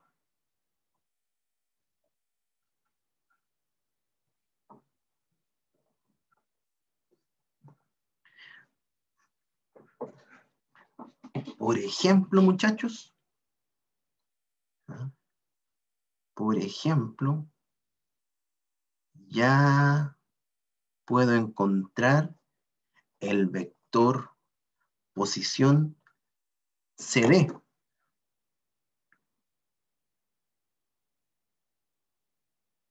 CD.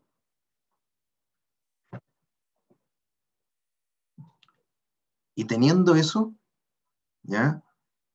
Teniendo ese vector posición, ya tengo una parte bien adelantada de resolver este, este, esta incógnita que es este ángulo. Porque ya tengo un vector, ¿ya? Entonces este va a ser mi vector, vector posición. ¿ya?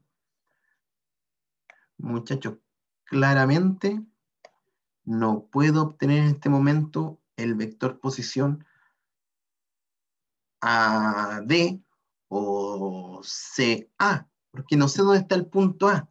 Pero ojo, me dan ahí una pillería. Me, dan, me dan una información de esos seis pies. Por algo me lo están dando. Y por algo lo voy a usar más adelante. Pero todavía no. Todavía no. Un momento. Voy a encontrar R, C, D, como habíamos dicho. Para que quede de buena manera.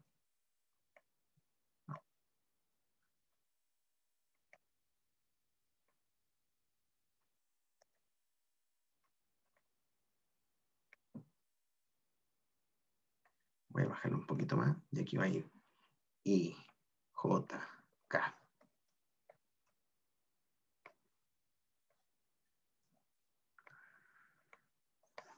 ¿Qué tendríamos acá? CD es donde llega menos donde parte. ¿Dónde llega? Llega al punto D. Ah, entonces, donde llega menos donde parte en C. Ahí. 0 menos 4. Resultado, menos 4. Donde llega, menos donde parte. Donde llega, en D, menos donde parte. En C. Donde llega, en D, menos donde parte. Parte en C. Y lo hice componente a componente, igual que siempre. ¿Sí? Nada diferente. Nada diferente. Y lo que sí voy a hacer acá, eh, no, eso no lo voy a hacer. Ah, sí podía hacer. Este nomás quedó movido. Voy a poner acá distancia a AD. No, como quiero dejarlo automatizado, 6 pies. ¿ah? Es lo que me entrega, no el enunciado, sino que la figura. ahí. La distancia de A a D me lo entrega. La otra distancia igual las podría poner, pero están acá. Acá. Pero eso no estaba. Solo me estaba faltando. ¿ah?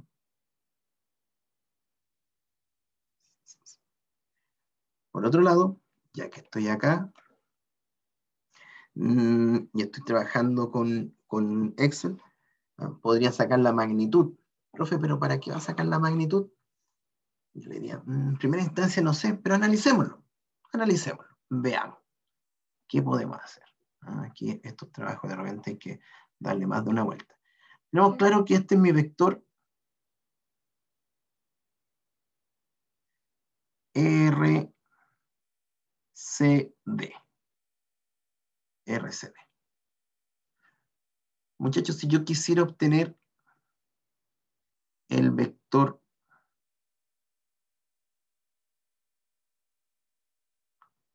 R,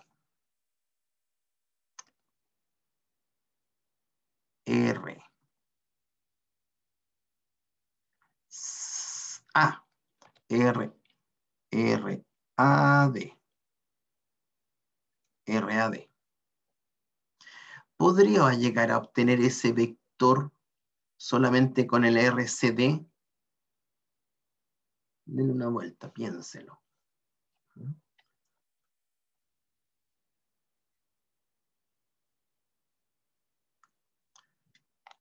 Si nosotros nos damos cuenta, yo de R a D, lo que sé es su magnitud. Yo conozco la magnitud de AD.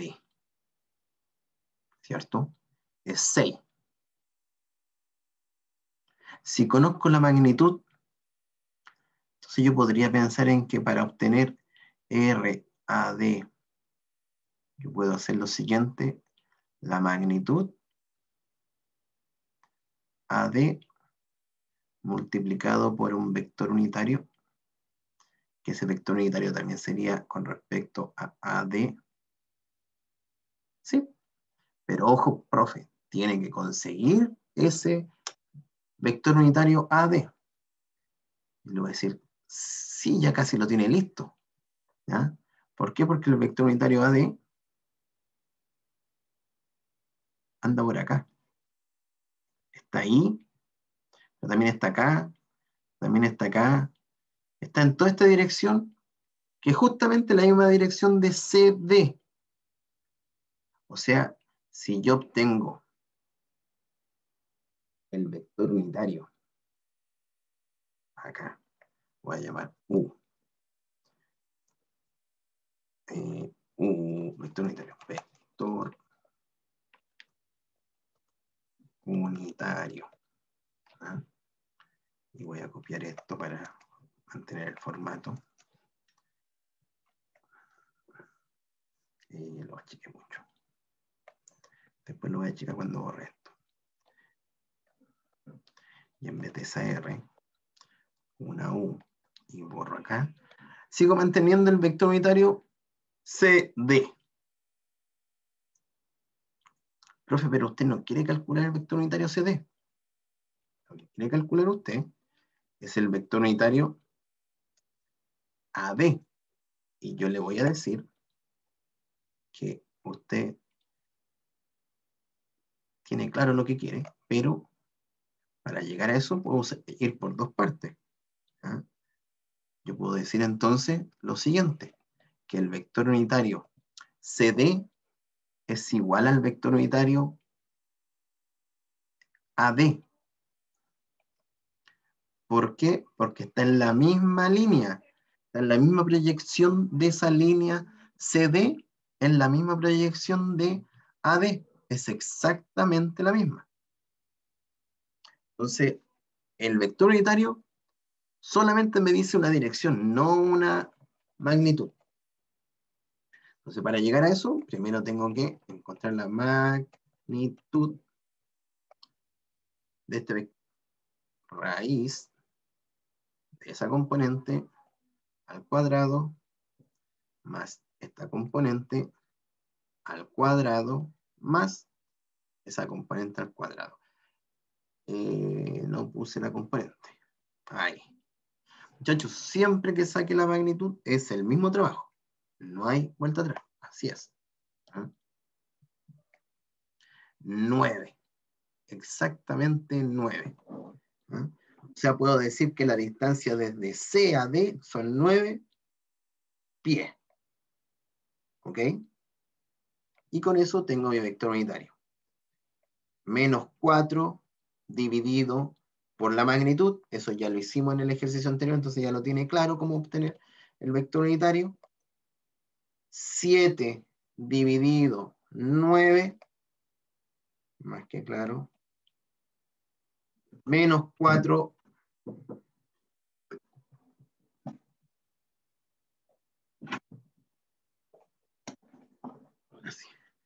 menos 4 dividido dividido 9.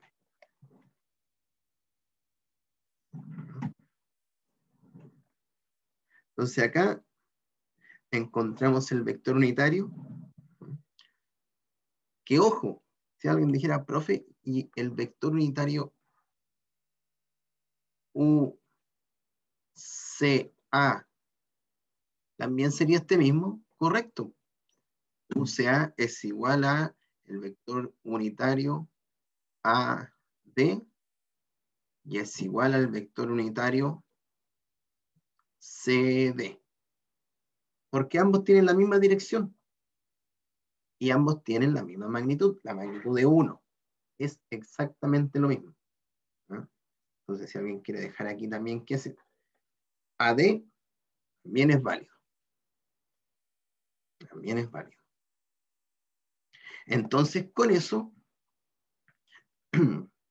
yo ya podría pensar en esto que habíamos declarado anteriormente. Lo tomo, control C, lo dejo caer acá, vector posición, borro aquí, y digo, ah, muchachos, sería A, D, justamente el otro que andaba buscando, ese de 6 pies. ¿Ah? Oh, um, un segundo.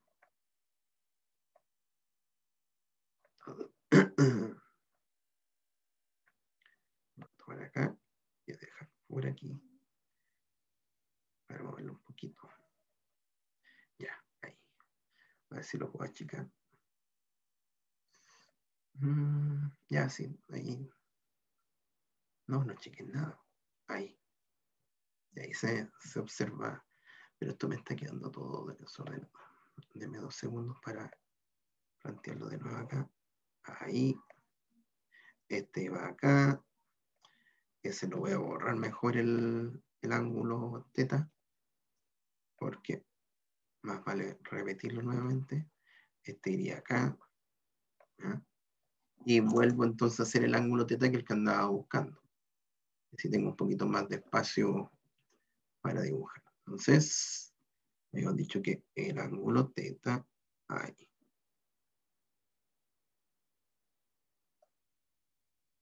Ahí está. Ahí está. ¿Cómo obtengo entonces el vector posición RAD? El vector posición RAD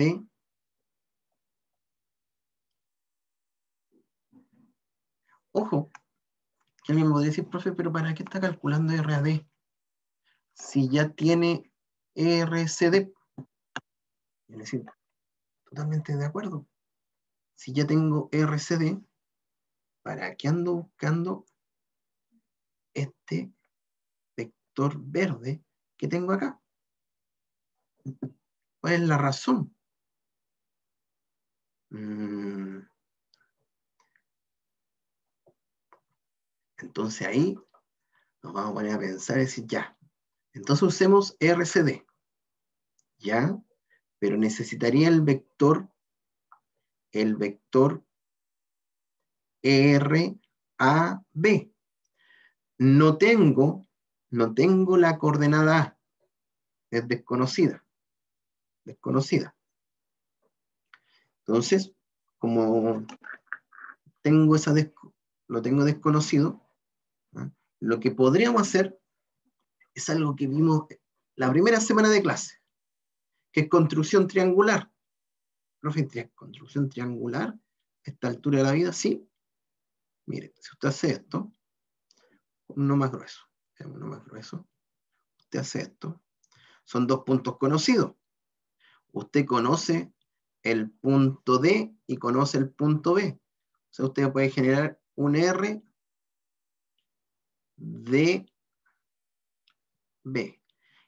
Y cuando tengo esto y tengo Excel, es fácil encontrar esas cosas, pues no, no nos gastamos nada.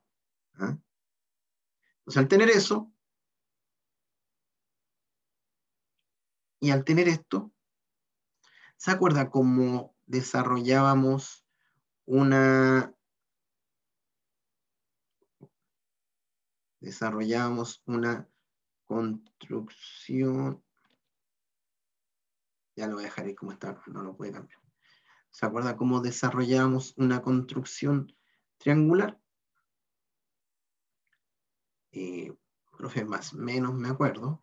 Bueno, ahora nos acordamos bien. Este va a ser rojo, espera, dejé darle el rojo. Este es nuestro R, A, B, que lo ando buscando R, A, B, para poder decir, ya, ahora puedo operar.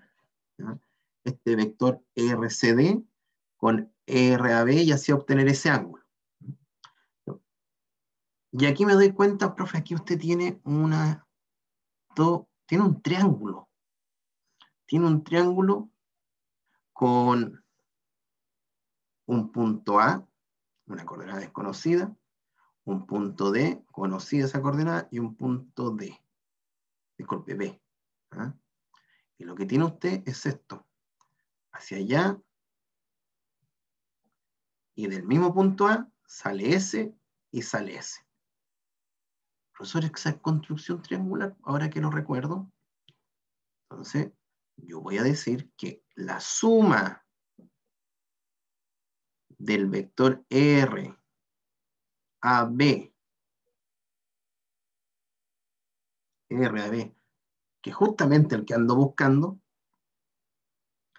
está dada por la suma vectorial del vector AB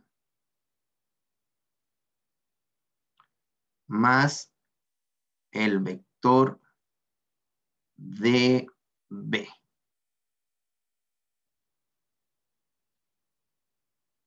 ¿Ok? Y ahí sí que toma preponderancia haber calculado esto, al haber dejado este para haberlo calculado. Todavía no lo calculo, lo detuve. Dije, no sigamos más porque a lo mejor no vale la pena. Ahí lo voy a tener. Listo. Y RDB, no me venga que RDB es difícil de calcular, es fácil. ¿Ah? Es sencillo calcular RDB. ¿Por qué? Porque conozco el punto de inicio y conozco el punto de llegada. Entonces ya puedo trabajar con RDB. Y teniendo esos dos, profe, es suma vectorial y tiene ese vector que andaba dando vuelta. Perfecto. Entonces lo vamos a llevar, oh, lo vamos a llevar a eso. A determinar lo que nos está faltando.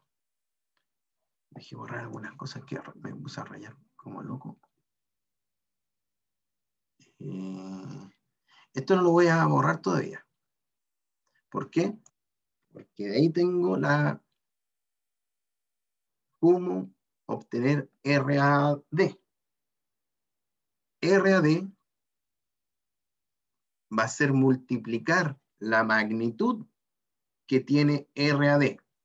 ¿Y cuál es la magnitud de RAD? Profesor, es la distancia que aparecía en el dibujo, la que usted escribió acá. Distancia AD es la magnitud del vector posición AD. Entonces, esa por la componente X de su vector posición. Seguido, ese 6 por la componente Y de su vector unitario. Unitario, no posición. Estoy buscando el posición, el vector unitario. Y por último, ese mismo 6, que es la magnitud, por la componente Z de su vector unitario. Y ahí usted tiene el vector posición AD. Como dije, el siguiente sale solo, que era el vector DB. ¿Cómo obtengo el vector posición DB? El vector posición DB es donde llega menos donde parte. Donde llega, llega a B. Donde parte, parte en D. Eh, llega a B y parte en D.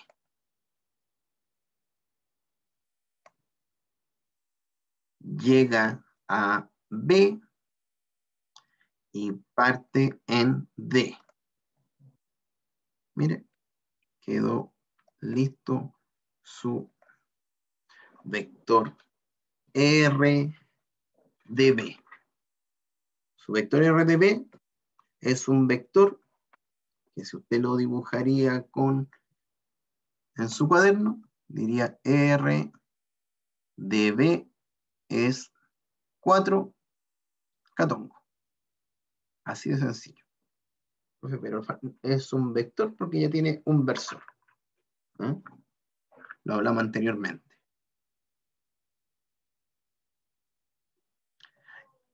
Y finalmente, ya con esto, ¿eh?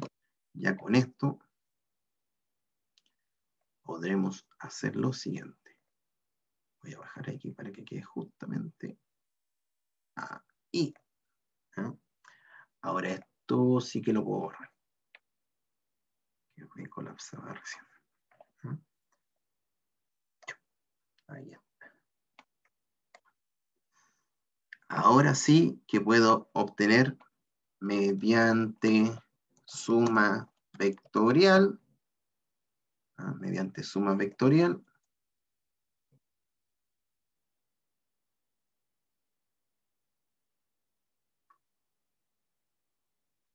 tengo el R, control C, control B, aquí voy a tener A, B, ¿ah? y recordamos lo que era. Era sumar este más este. Así obtenemos RAB. Es S más S. Es S más S. Es S más S. Lo que estoy haciendo ahí es una suma ¿ah? de un vector que era que era menos 2,66 y tongo más 4,66 j tongo menos 2,66 catongo más el vector RBD, que era 4 catongo. 4 catongo. Entonces, como resultado, bueno, sumo todo lo que tengan y tongo. Eh, profe, el uno que tiene y tongo es ese. Bueno, deje ese. Y es menos, bueno, déjelo negativo. En los J, profe, hay una pura J. Lo mismo, mantenga esa J no hay más, no es su culpa el, el desarrollo del ejercicio. Y después tengo menos 2,66 menos 2,66 más 4. O sea, me quedaría positivo, pero 1,33 catongo. Y esto fue lo que se hizo entonces para obtener R a B se sumó de forma vectorial R a D más R de B. Y ahí llegamos a esto.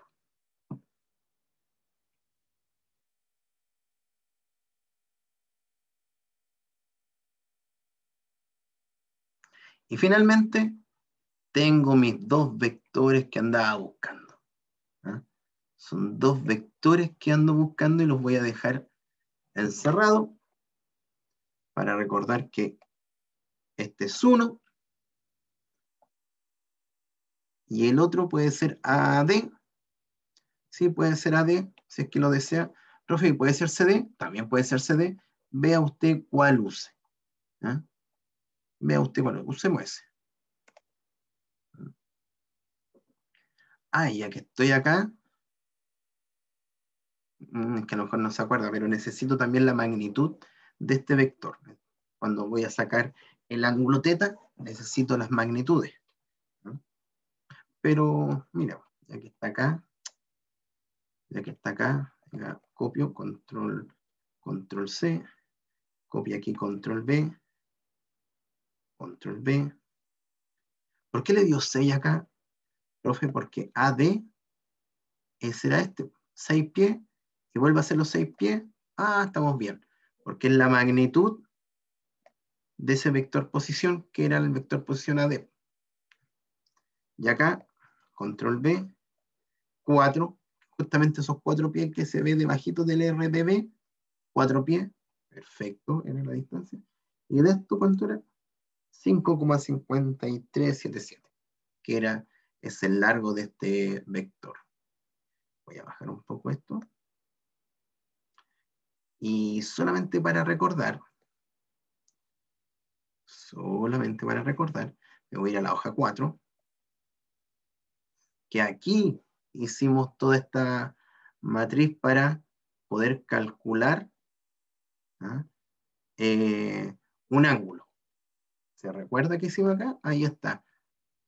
RAB, un vector, RAC el otro vector. ¿Cómo lo obteníamos? Mire, íbamos uno a uno y después lo dividíamos por sus magnitudes. Era S con S, más S con S, más S con S, todo eso lo cerramos en un paréntesis, lo dividíamos por la magnitud.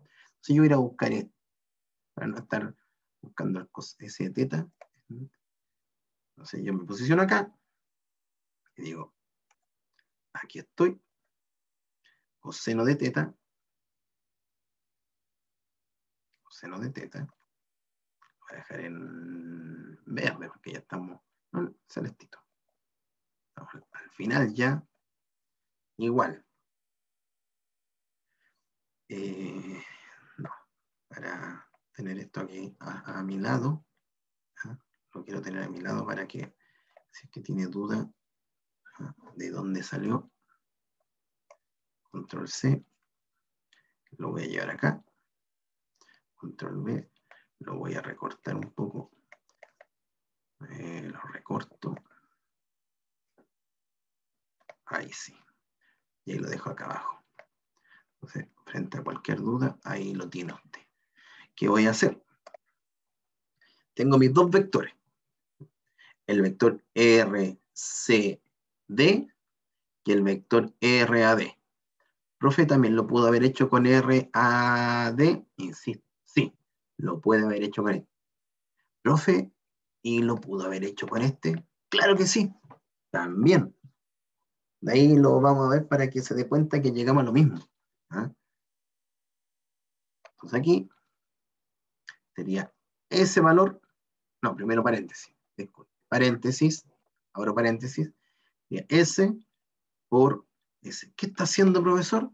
Tal como dice la ecuación U de X por BU de X, componente por componente, más U de Y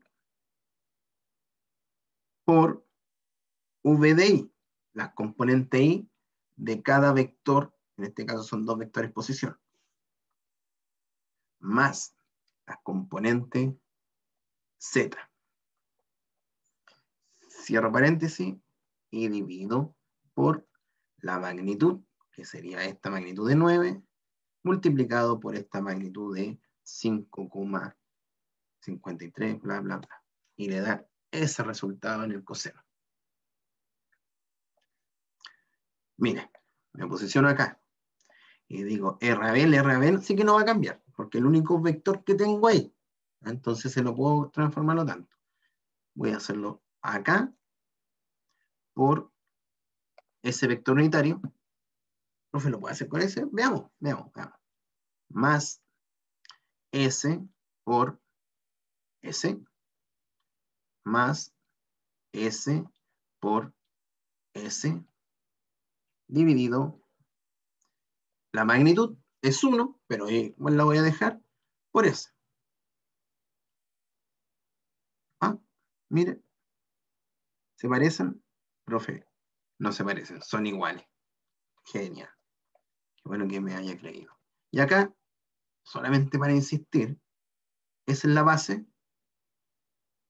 Ese es AD. Probemos con AD ahora. Hay que probar con todo aquí para que aseguremos de que nos va a quedar el mismo resultado.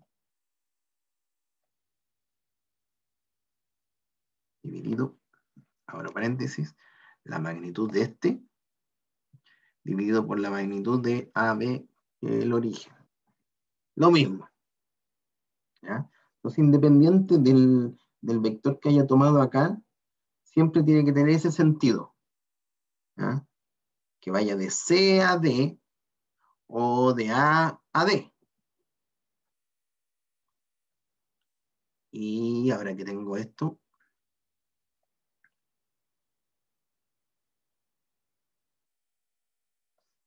tengo que sacar ese ángulo. Ahí, el ángulo, oh, el ángulo teta. Recuerde que es una parte del ángulo teta. Me falta descubrir la, la, la tensión perpendicular a la tensión paralela. Aquí que tengo. Que resultado me lo entregué en grados. A coseno, porque va a devolverme el arcoseno de ese valor. Y ahí tengo el ángulo. El ángulo. ¿Ya? Mire, control C, control B, control B, asociado a ese, asociado a ese. Entonces me va a dar lo mismo. Todo está bien. ¿Ya? Aquí tengo un ángulo de 40,32 grados. ¿ya? Y ahora borro esto. Muchas gracias, me ayudó bastante, ¿ah? pero ya no lo necesitamos.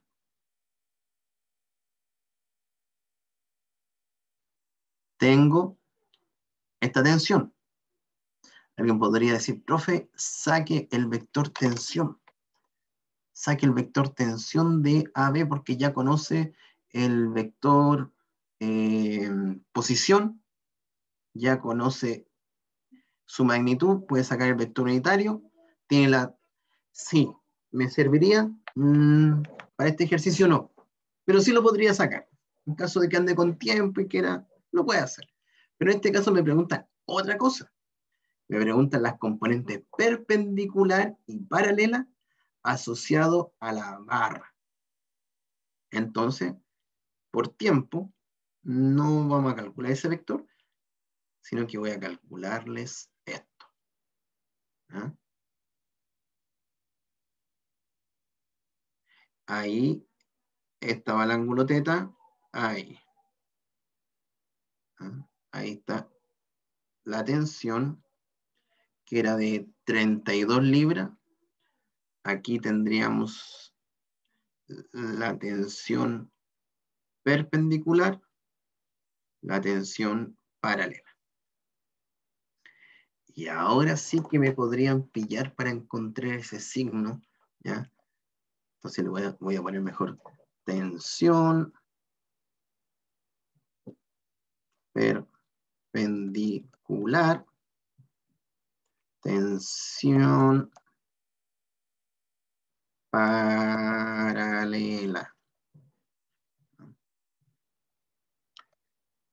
Lo hice más para no estar buscando ese, ese signo, no, no, no recuerdo haberlo visto. Debe estar, pero en primera instancia mi cerebro dijo, no lo busques porque vas a estar mucho tiempo. Entonces, le hice caso.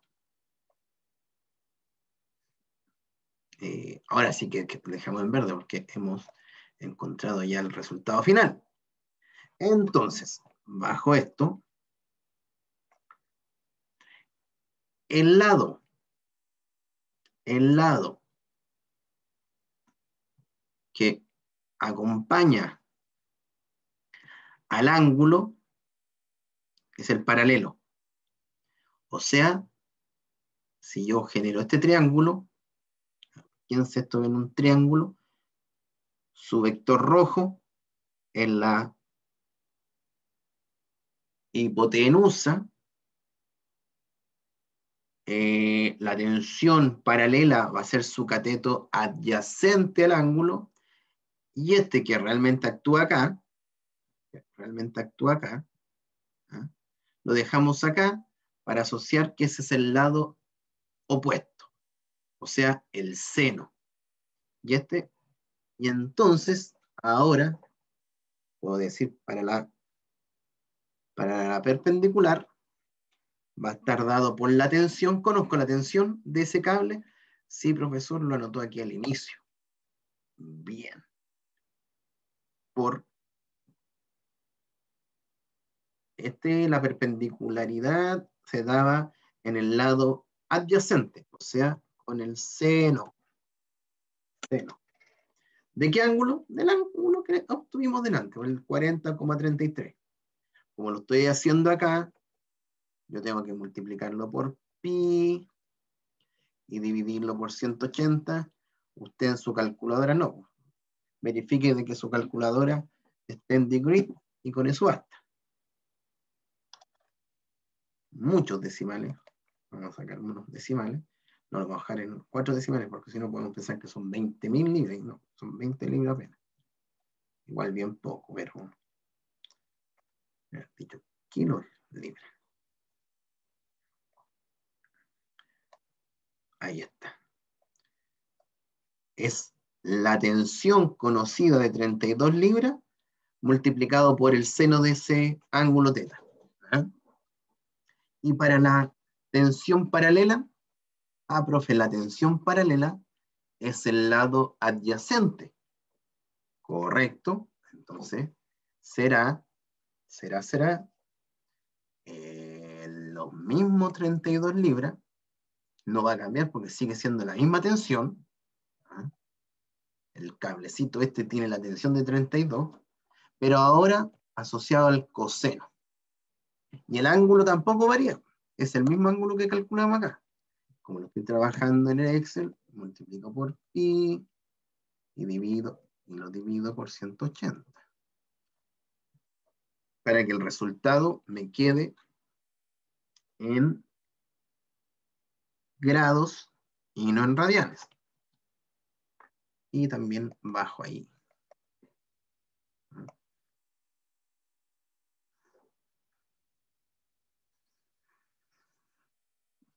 mm. Y ahora,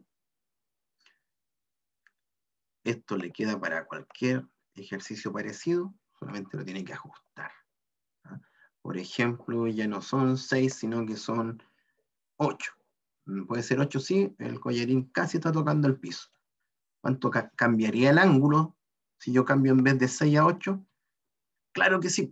Se hace cada vez más eh, pequeño ese ángulo, porque el collarín estoy diciendo que está por acá, casi tocando el suelo. Y si no está casi tocando el suelo, sino que está ahí arriba, profe, eh, que, la, que esa dimensión fuese de 3 pies, bueno, el ángulo ahora aumenta más. Y también hay una variación en las tensiones. Ya la tensión perpendicular es mucho mayor que la paralela. Y delante cuando era 8, ¿cómo era ese trabajo de las paralelas? Y no, pues aquí la paralela es mayor que la perpendicular. ¿ah? Porque su, tensión ¿ah? está asumiendo más carga en, eh, a lo largo de la barra que de forma perpendicular.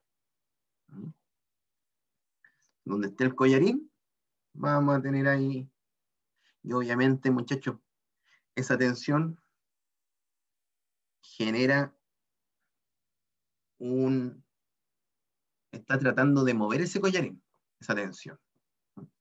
Y el que trata de mover el collarín no es la tensión. ¿ah? la tensión no es la que mueve, la tensión T solita, no es la que mueve el collarín. ¿Quién mueve el collarín? La tensión paralela. La tensión paralela es la que mueve el collarín a lo largo de esto. La tensión perpendicular es más, lo frena, porque le genera una carga dentro de esta barra donde se mueve el collarín. Si no fuéramos mala física y estuviésemos evaluando ahí el efecto del roce que se da para ver si se mueve o no se mueve, o si hay que lubricarlo para que se mueva, ¿ah? ahí también podemos hacer los cálculos asociados a eso, obviamente, ¿ah? mezclando ahí otra asignatura desde mecánica de fluido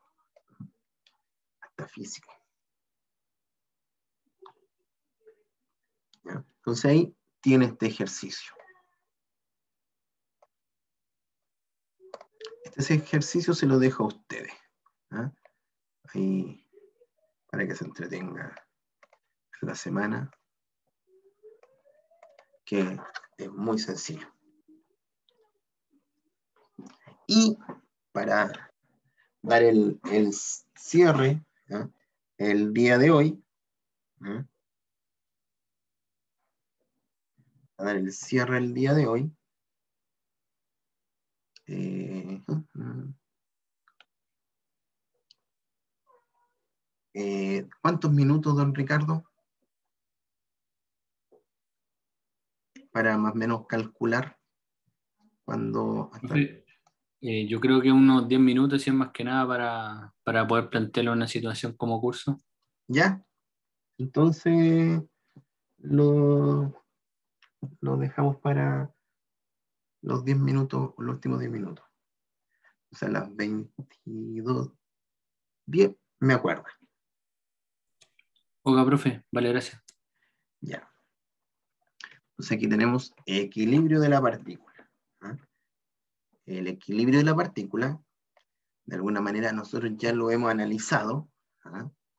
y y está asociado a lo mismo que le he hablado anteriormente. Nosotros en esta asignatura tratamos con la estática. ¿ah? La estática asociado a que la aceleración va a ser igual a cero. ¿ah? La aceleración va a ser igual a cero. Y la aceleración es igual a cero cuando la velocidad es constante o si la velocidad es igual a cero. Si la velocidad es igual a cero significa que el elemento está detenido, ¿ah?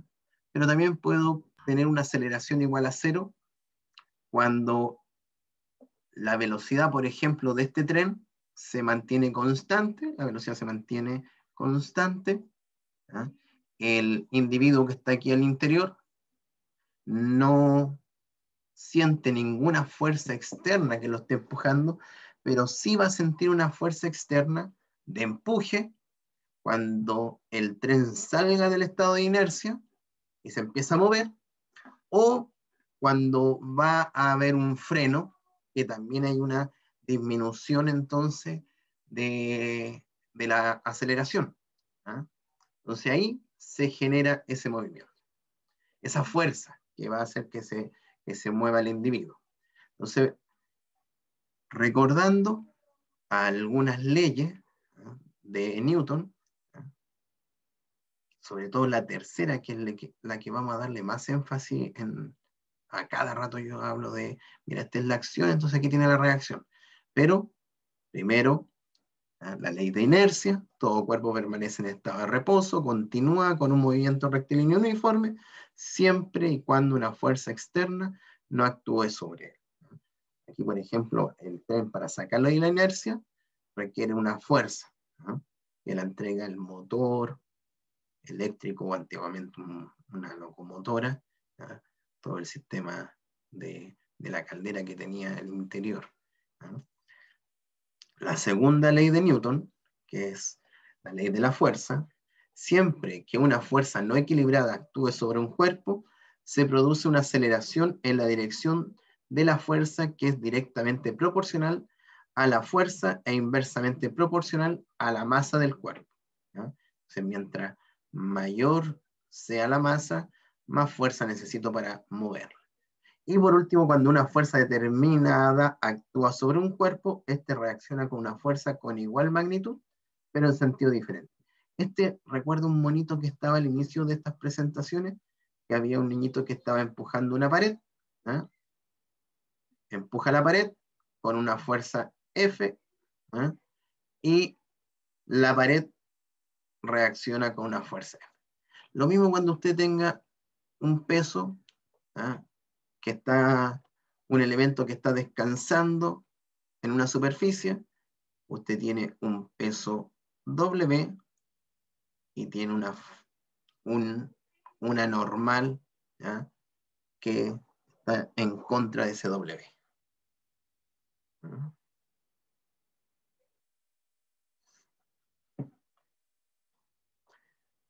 Siempre cuando vamos a desarrollar estos tipos de ejercicios, y ya lo ha visto con los ejercicios previos que he hecho, hablo de un diagrama de cuerpo libre. Es el dibujo de un cuerpo de las fuerzas externas y reacciones que actúan sobre él sin incluir nada aparte del cuerpo de interés. Muestra el cuerpo aislado, liberado de su entorno. Es como que yo tomara una parte de este cuerpo, lo sacara y lo dejara en el aire, solo, ¿ah? en mi croquis. ¿ah? Entonces, el dibujo del diagrama de cuerpo libre consta de tres pasos. Primero hay que identificar cuál va a ser el cuerpo por aislar, y esa va a ser una misión súper importante en unas próximas sesiones, porque necesito saber ¿ah? cuál va a ser de todo este elemento, de toda esta pala mecánica, de todo este sistema de engranaje, cuál va a ser el engranaje que voy a aislar, cuál va a ser la polea de mi sistema de polea que voy a aislar. Esa es la parte muchas veces un poquito más compleja, pero si lo determino y la selecciono bien, si soy capaz de identificarlo de buena manera, ya, me voy a ahorrar mucho tiempo en el desarrollo y se lo aseguro que el desarrollo le va a dar un resultado correcto. Como se verá, la elección suele estar dictada por las fuerzas particulares que se quieren determinar. Dibujar un croquis del cuerpo aislado de su entorno y mostrar las dimensiones y ángulos pertinentes. Muy importante mostrar dimensiones y ángulos. El dibujo debe ser razonablemente preciso, pero omitir los detalles. ¿ya? Si vemos un, un ejercicio, eh, no, no, es que usted tenga que empezar a hacer los dibujos de, de detalle, la marca de, de, del equipo, una idea que no se ponga a pintar. ¿ya? vaya directamente a lo que es esta asignatura, que encontrar ahí las reacciones.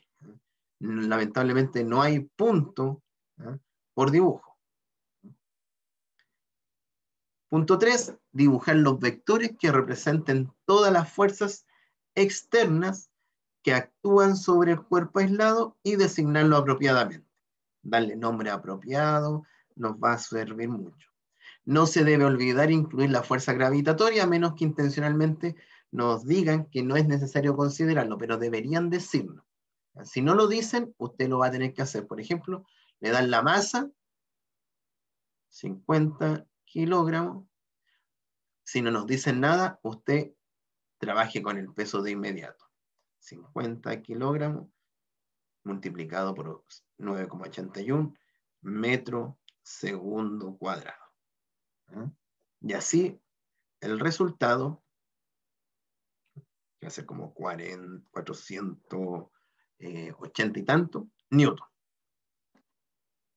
50 por 9.81, 490.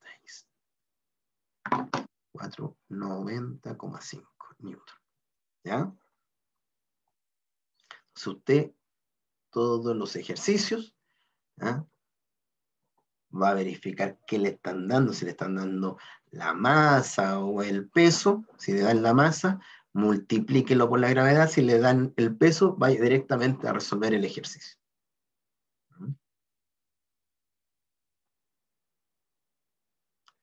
Un ejemplo sencillo se mostrará cómo elegir los diagramas de cuerpo libre para determinar fuerzas particulares. Recuerde que se debe distinguir con cuidado entre fuerzas externas e internas. Dos bloques están en reposo de igual peso W, entonces yo puedo decir acá, este tiene un peso W, este también tiene un peso W. que están suspendidos por medio de cable. Tengo el cable TCD y tengo el cable TAB.